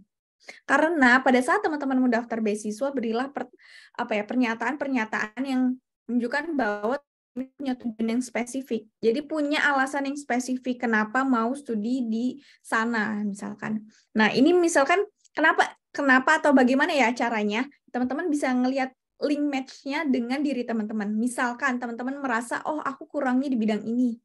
Coba kita lihat di kampus di uh, kampus tersebut. Mendukung teman-teman nggak di bidang tersebut kayak gitu. Jadi berawal dari kita list nih kita kurangnya di mana, kita mau belajar apa, lihat di kampus sana. Mereka menyediakan hal itu enggak. Kalau misalkan cocok, oh berarti ini bisa jadi kandidat kampus tujuan teman-teman kayak gitu. Jadi yang dilihat di kampus uh, tujuan teman-teman itu bukan lagi ranking aja gitu. Ranking memang matters. Tapi kalau untuk daftar beasiswa, yang teman-teman mention itu tuh bukan ranking, tapi alasan spesifik teman-teman. Apa aja yang bisa teman-teman mention itu teman-teman bisa dari course-nya course masa mata kuliah. Di sana itu teman-teman akan belajar apa? Misalkan di kampus uh, tujuan nanti akan belajar misalkan molecular biology. Molecular biology-nya tuh apa detailnya?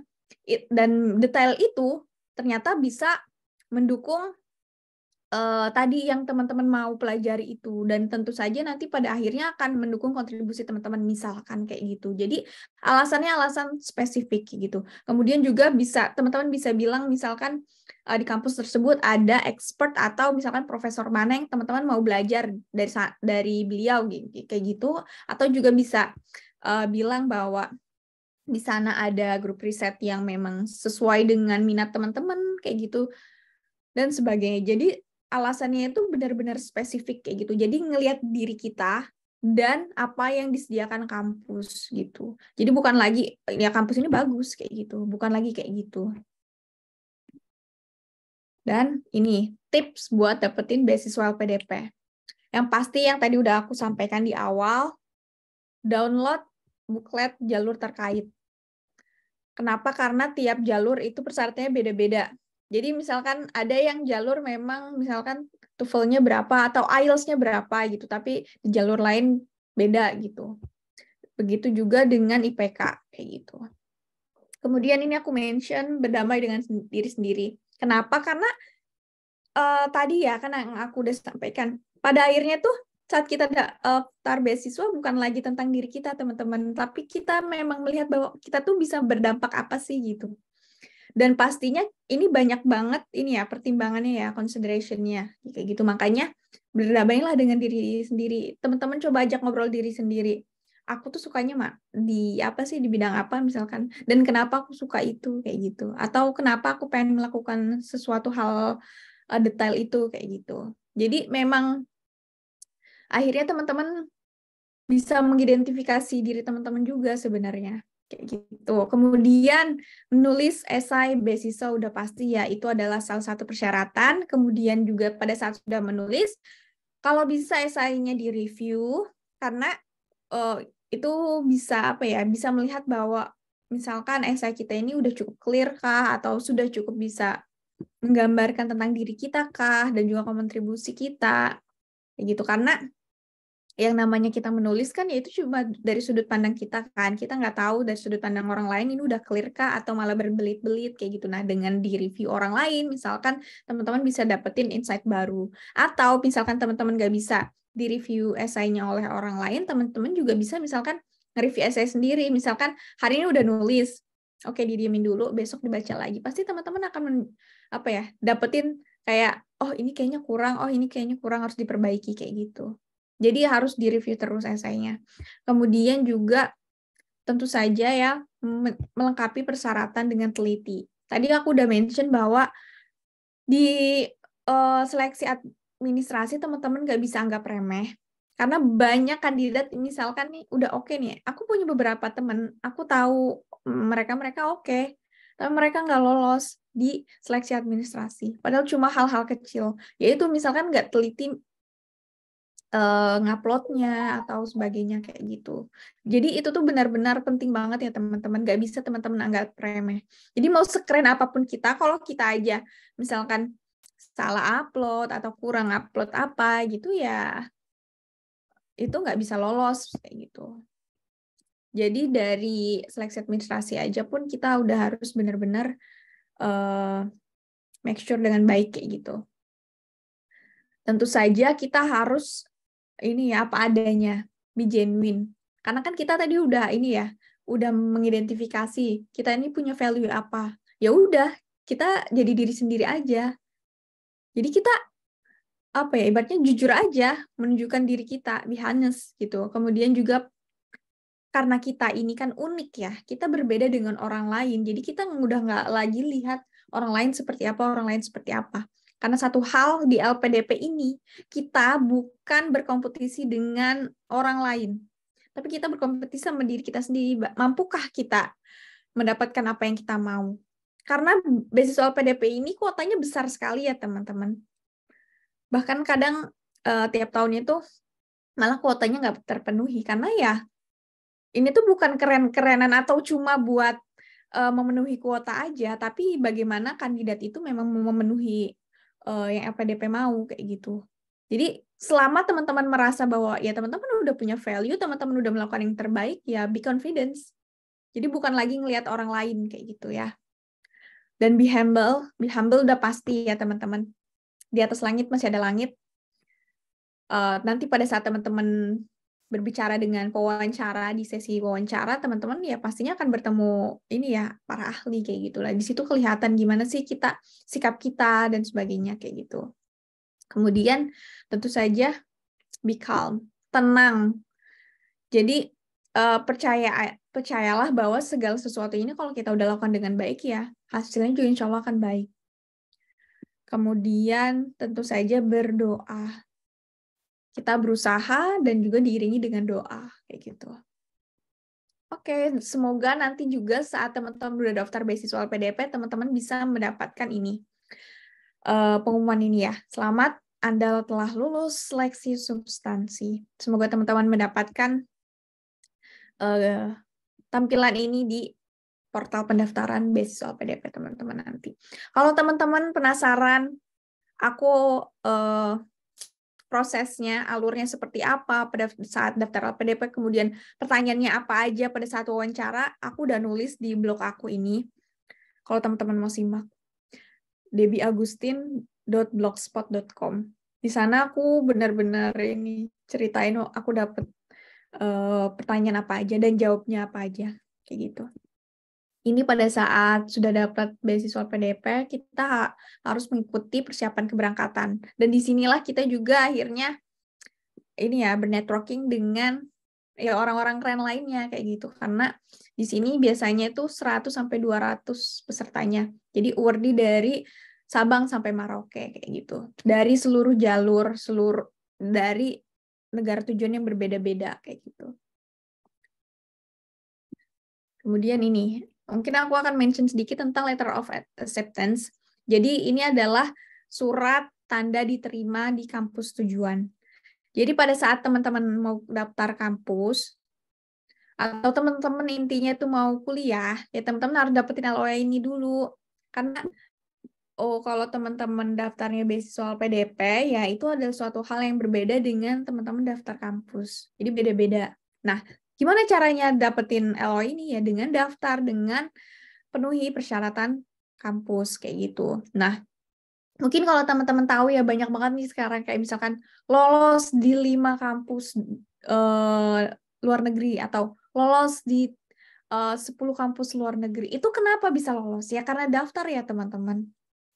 Percayalah kalau teman-teman daftar dan teman-teman itu udah memenuhi persyaratan teman-teman bisa meyakinkan kampus dengan ini ya ibaratnya uh,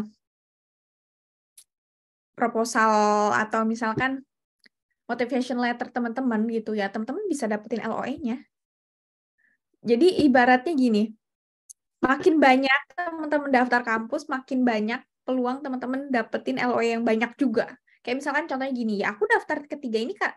Uh, aku dapetin LOE dari tiga kampus ini karena aku daftar di kamp tiga kampus tersebut. Jadi misalkan gini, teman-teman daftar di lima kampus, bisa jadi teman-teman diterima juga di lima kampus tersebut kayak gitu. Jadi selama kita memenuhi persyaratan dan kita udah menunjukkan bahwa kita ini memang punya ini ya punya passion di bidang tersebut, teman-teman bisa menunjukkan di SI teman-teman SI ini ya buat daftar kampus ya insya Allah teman-teman bisa dapetin LOA itu kayak gitu.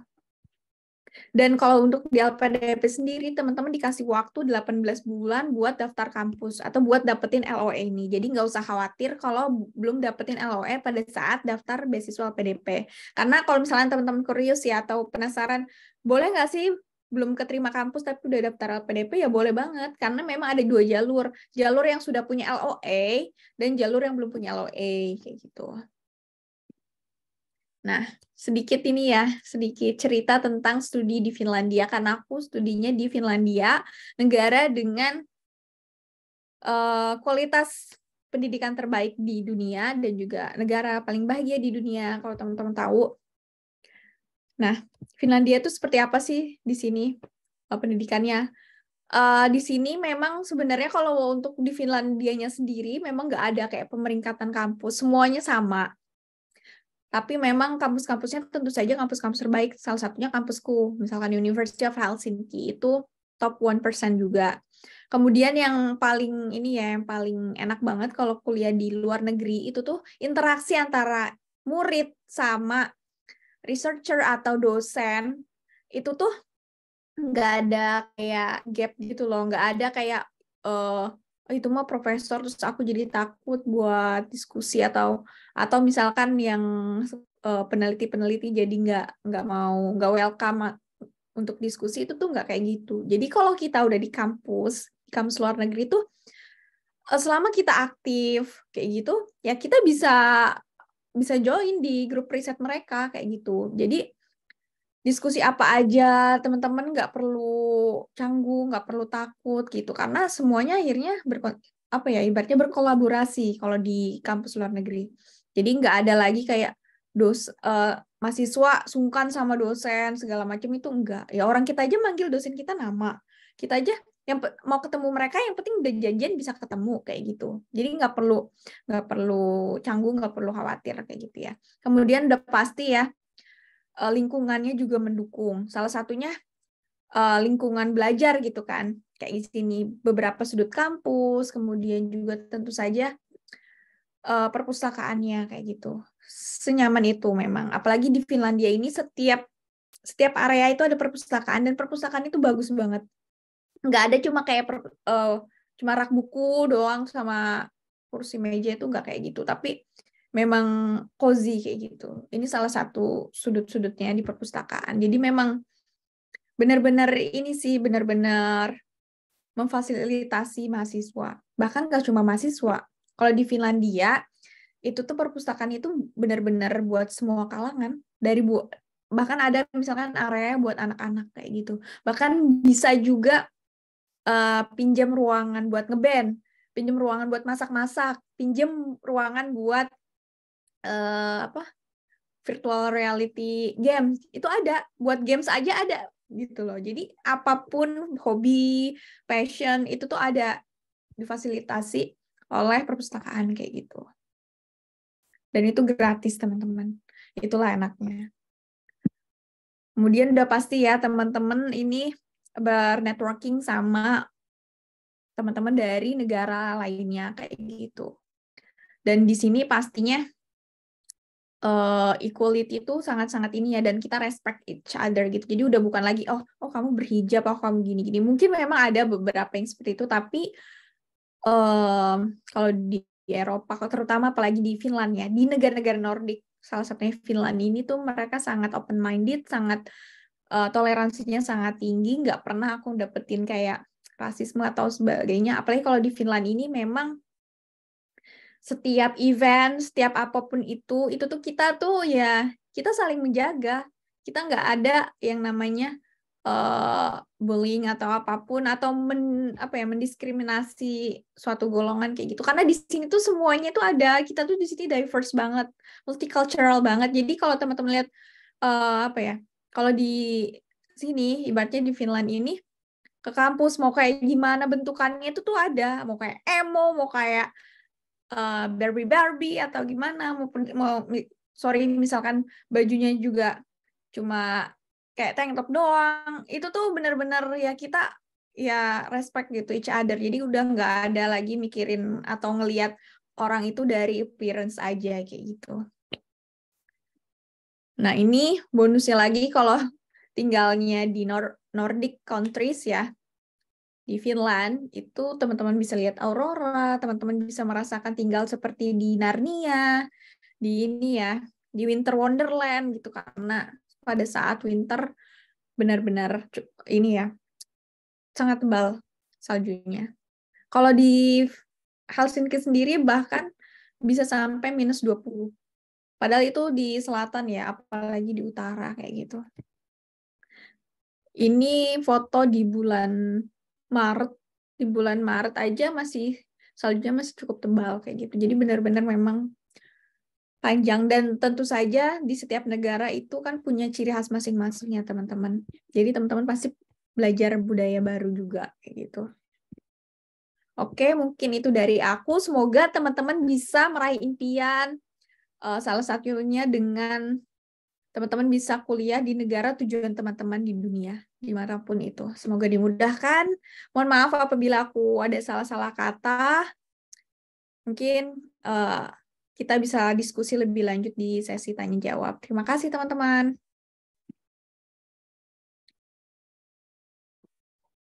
Oke, Kak Debbie, terima kasih sudah menyampaikan materinya. Jadi uh, saat ini kita masuk ke sesi diskusi dan sesi tanya jawab. Jadi untuk teman-teman yang memiliki pertanyaan bisa ditanyakan langsung nih sama Kak Debbie nih. Ayo untuk bisa raise hand yuk.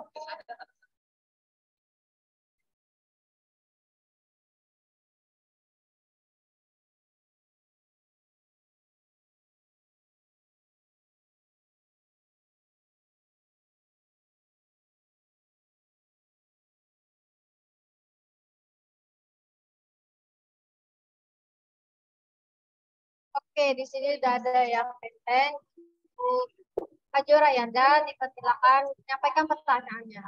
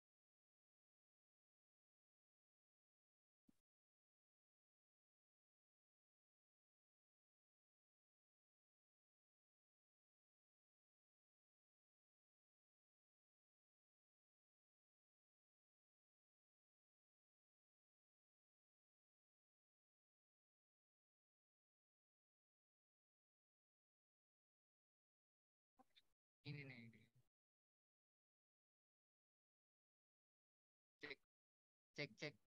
Udah udah udah uh, assalamualaikum warahmatullahi wabarakatuh. Salam.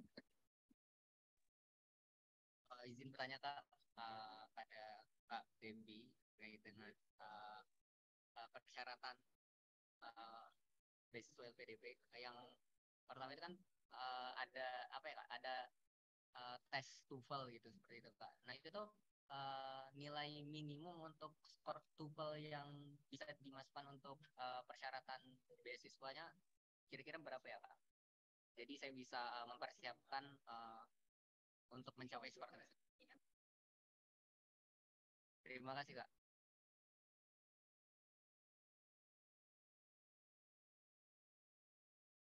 Langsung jawab. Iya Kak, sebenarnya. Jadi sebenarnya yang tadi udah aku sampaikan ya, tiap jalur itu jalur uh, skornya beda-beda. Makanya teman-teman udah harus menentukan mau daftar di jalur mana. Dan ada misalkan jalur yang emang kalau misalkan teman-teman daftar jalur uh, reguler untuk tujuannya luar negeri itu tuh udah nggak bisa lagi pakai TOEFL udah harus pakai IELTS. Dan besarnya berapa, itu teman-teman harus cek di booklet. Contoh kalau nggak salah minimal tuh uh, minimal IELTS-nya 6,5. Tapi kalau TOEFL, aku nggak tahu sih kayaknya TOEFL kan cuma bisa yang buat jalur afirmasi ya. Kalau nggak salah 550 atau 500 kayak gitu. Jadi teman-teman bisa cek langsung di bukletnya.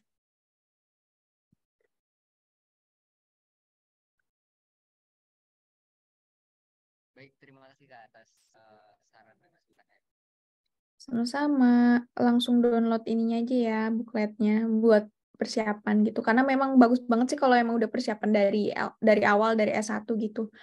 Karena kan bahasa ini kan nggak instan ya. Buat kita dapetin nilai segitu misalkan itu harus apa ya, harus meluangkan waktu dari jauh-jauh hari banget.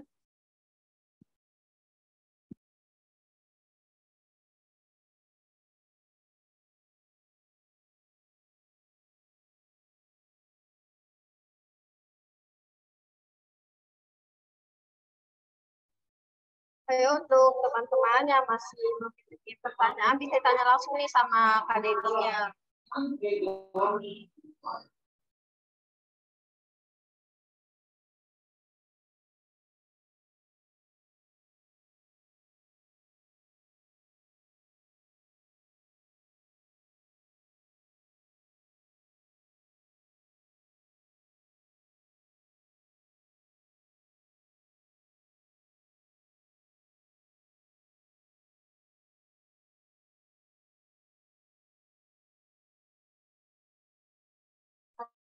Oh ya kak, aku mungkin mau nanya ya kak di sini. Nah, jadi kan aku lihat di sini Kak Devi punya banyak banget uh, meraih penghargaan. Nah, sama ikut banyak organisasi juga nih kak. Gimana sih caranya uh, kakak bisa fokus gitu, tapi meskipun banyak yang kakak ikutin gitu, itu gimana caranya kak? Uh, manajemen waktunya itu gimana kak?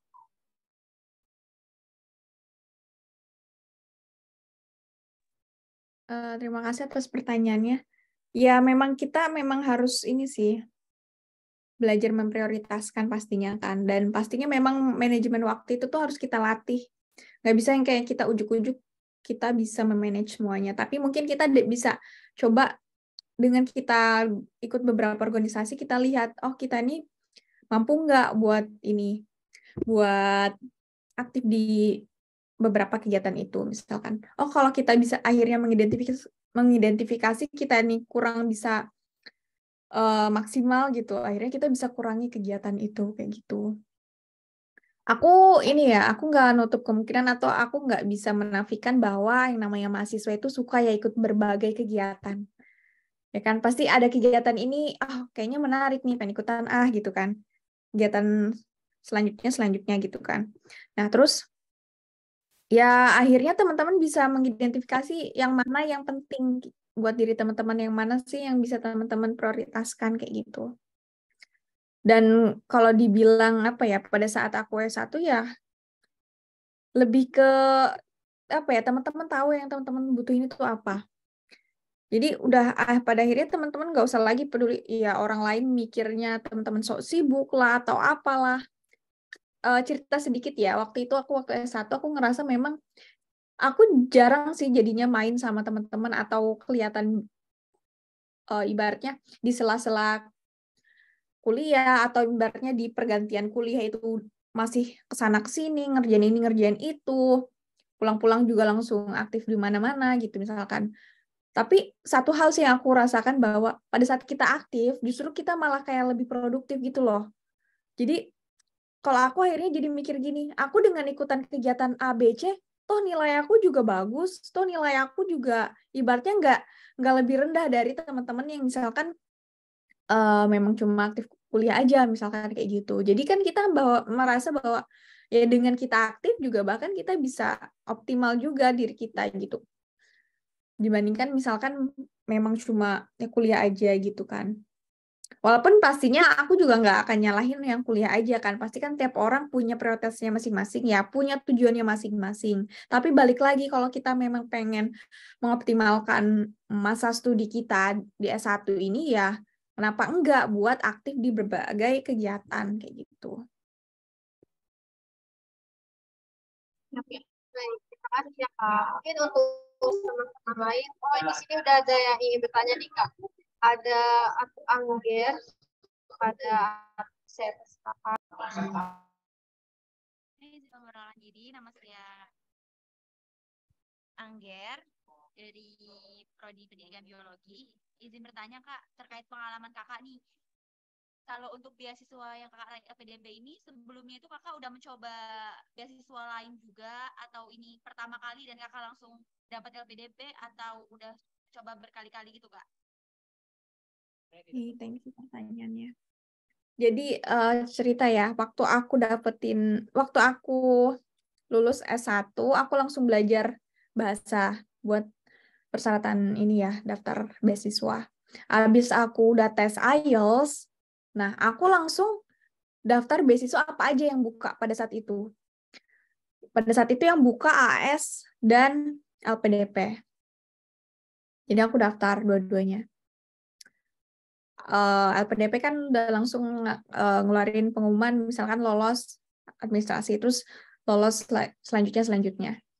Memang eventually akhirnya aku nggak lolos di beasiswa AS, tapi pada saat aku nggak lolos beasiswa AS, aku lolos beasiswa LPDP pada saat itu di tahap kedua, di tahap yang ibaratnya bakat skolastik kayak gitu. Dan untuk di LPDP sendiri aku uh, pertama kali daftar, alhamdulillah langsung keterima gitu. Jadi ibaratnya di tahun pertama aku daftar beasiswa, alhamdulillah langsung keterima. Jadi ibaratnya dua kali daftar beasiswa yang AS memang enggak lolos, tapi LPDP kan pertama kali daftar juga gitu kan, tapi LPDP yang langsung keterima kayak gitu.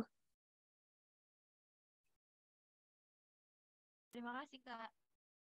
Sama-sama. Jadi saranku sih pada saat teman-teman udah punya ini ya, punya sertifikat bahasa, ya daftar ke banyak beasiswa gitu, karena kita nggak tahu ya rezeki kita di mana.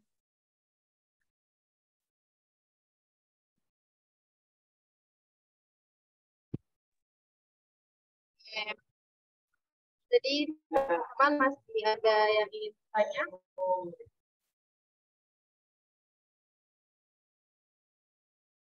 Oke, sepertinya sudah tidak uh, karena sebentar lagi juga sudah masuk ke waktu gugur.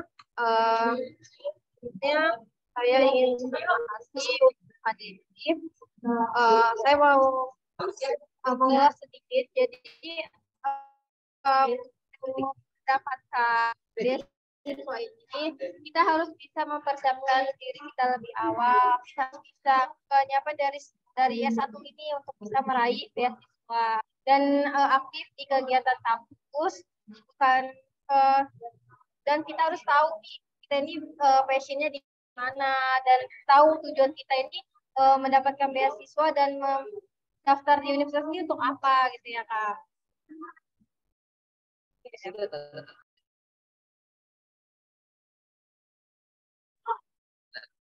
Oke, uh, tadi kan sudah penyampaian materi, itu sudah sesi diskusi dan pertanyaan juga sudah dijawab sama Kak Devi. Uh, semoga materi yang telah disampaikan sama Kak Devi tadi dapat bermanfaat untuk kita dan uh, saya juga ingin mengucapkan terima kasih Kak Devi atas waktunya yang sudah mau berbagi ilmu kepada kita.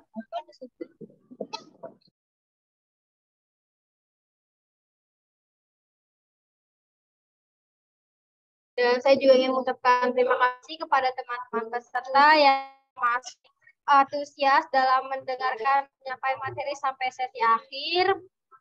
Uh, saya selaku moderator mengucapkan terima kasih dan mohon maaf dalam memandu sesi diskusi ini masih terdapat kekeliruan dan kesalahan. Sampai jumpa di acara yang lainnya. Saya akhiri. Wassalamualaikum warahmatullahi wabarakatuh. Terima kasih Oke, uh, uh, untuk ini saya ingin menyampaikan pembagian sertifikat Kak dan sesi foto bersama. Terima kasih.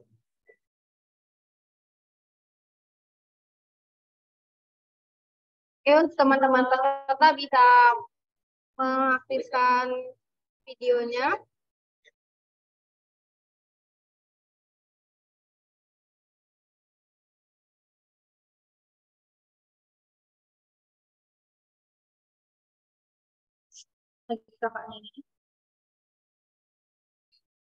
Untuk teman-teman yang belum mengaktifkan kamera, silakan diaktifkan dulu karena kita mau sesi foto bersama. Ya.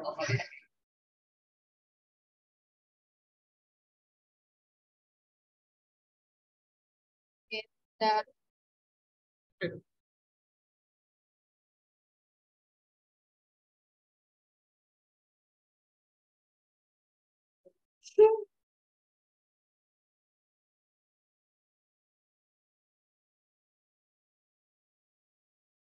Kak Debbie, terima kasih ya Kak udah nyampein materi tadi Kak.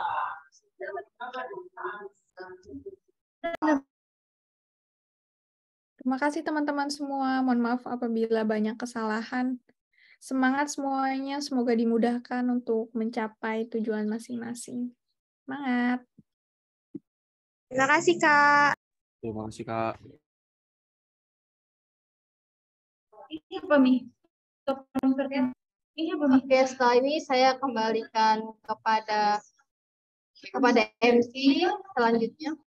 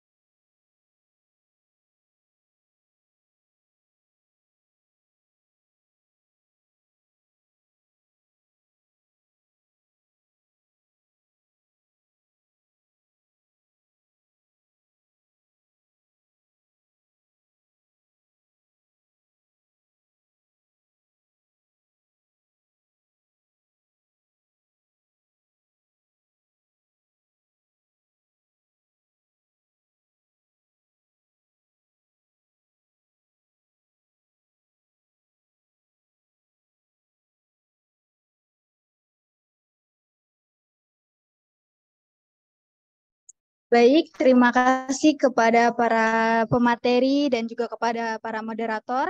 Selanjutnya yaitu sesi yaitu doa bersama yang akan dipimpin oleh Saudara Deni. Kepadanya dipersilahkan. Sebelumnya saya awali Assalamualaikum warahmatullahi wabarakatuh.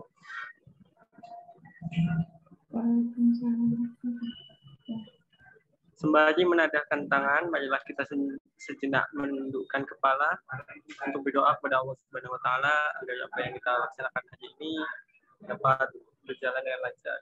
A'udzubillahi minasyaitonirrajim. Bismillahirrahmanirrahim. Alhamdulillah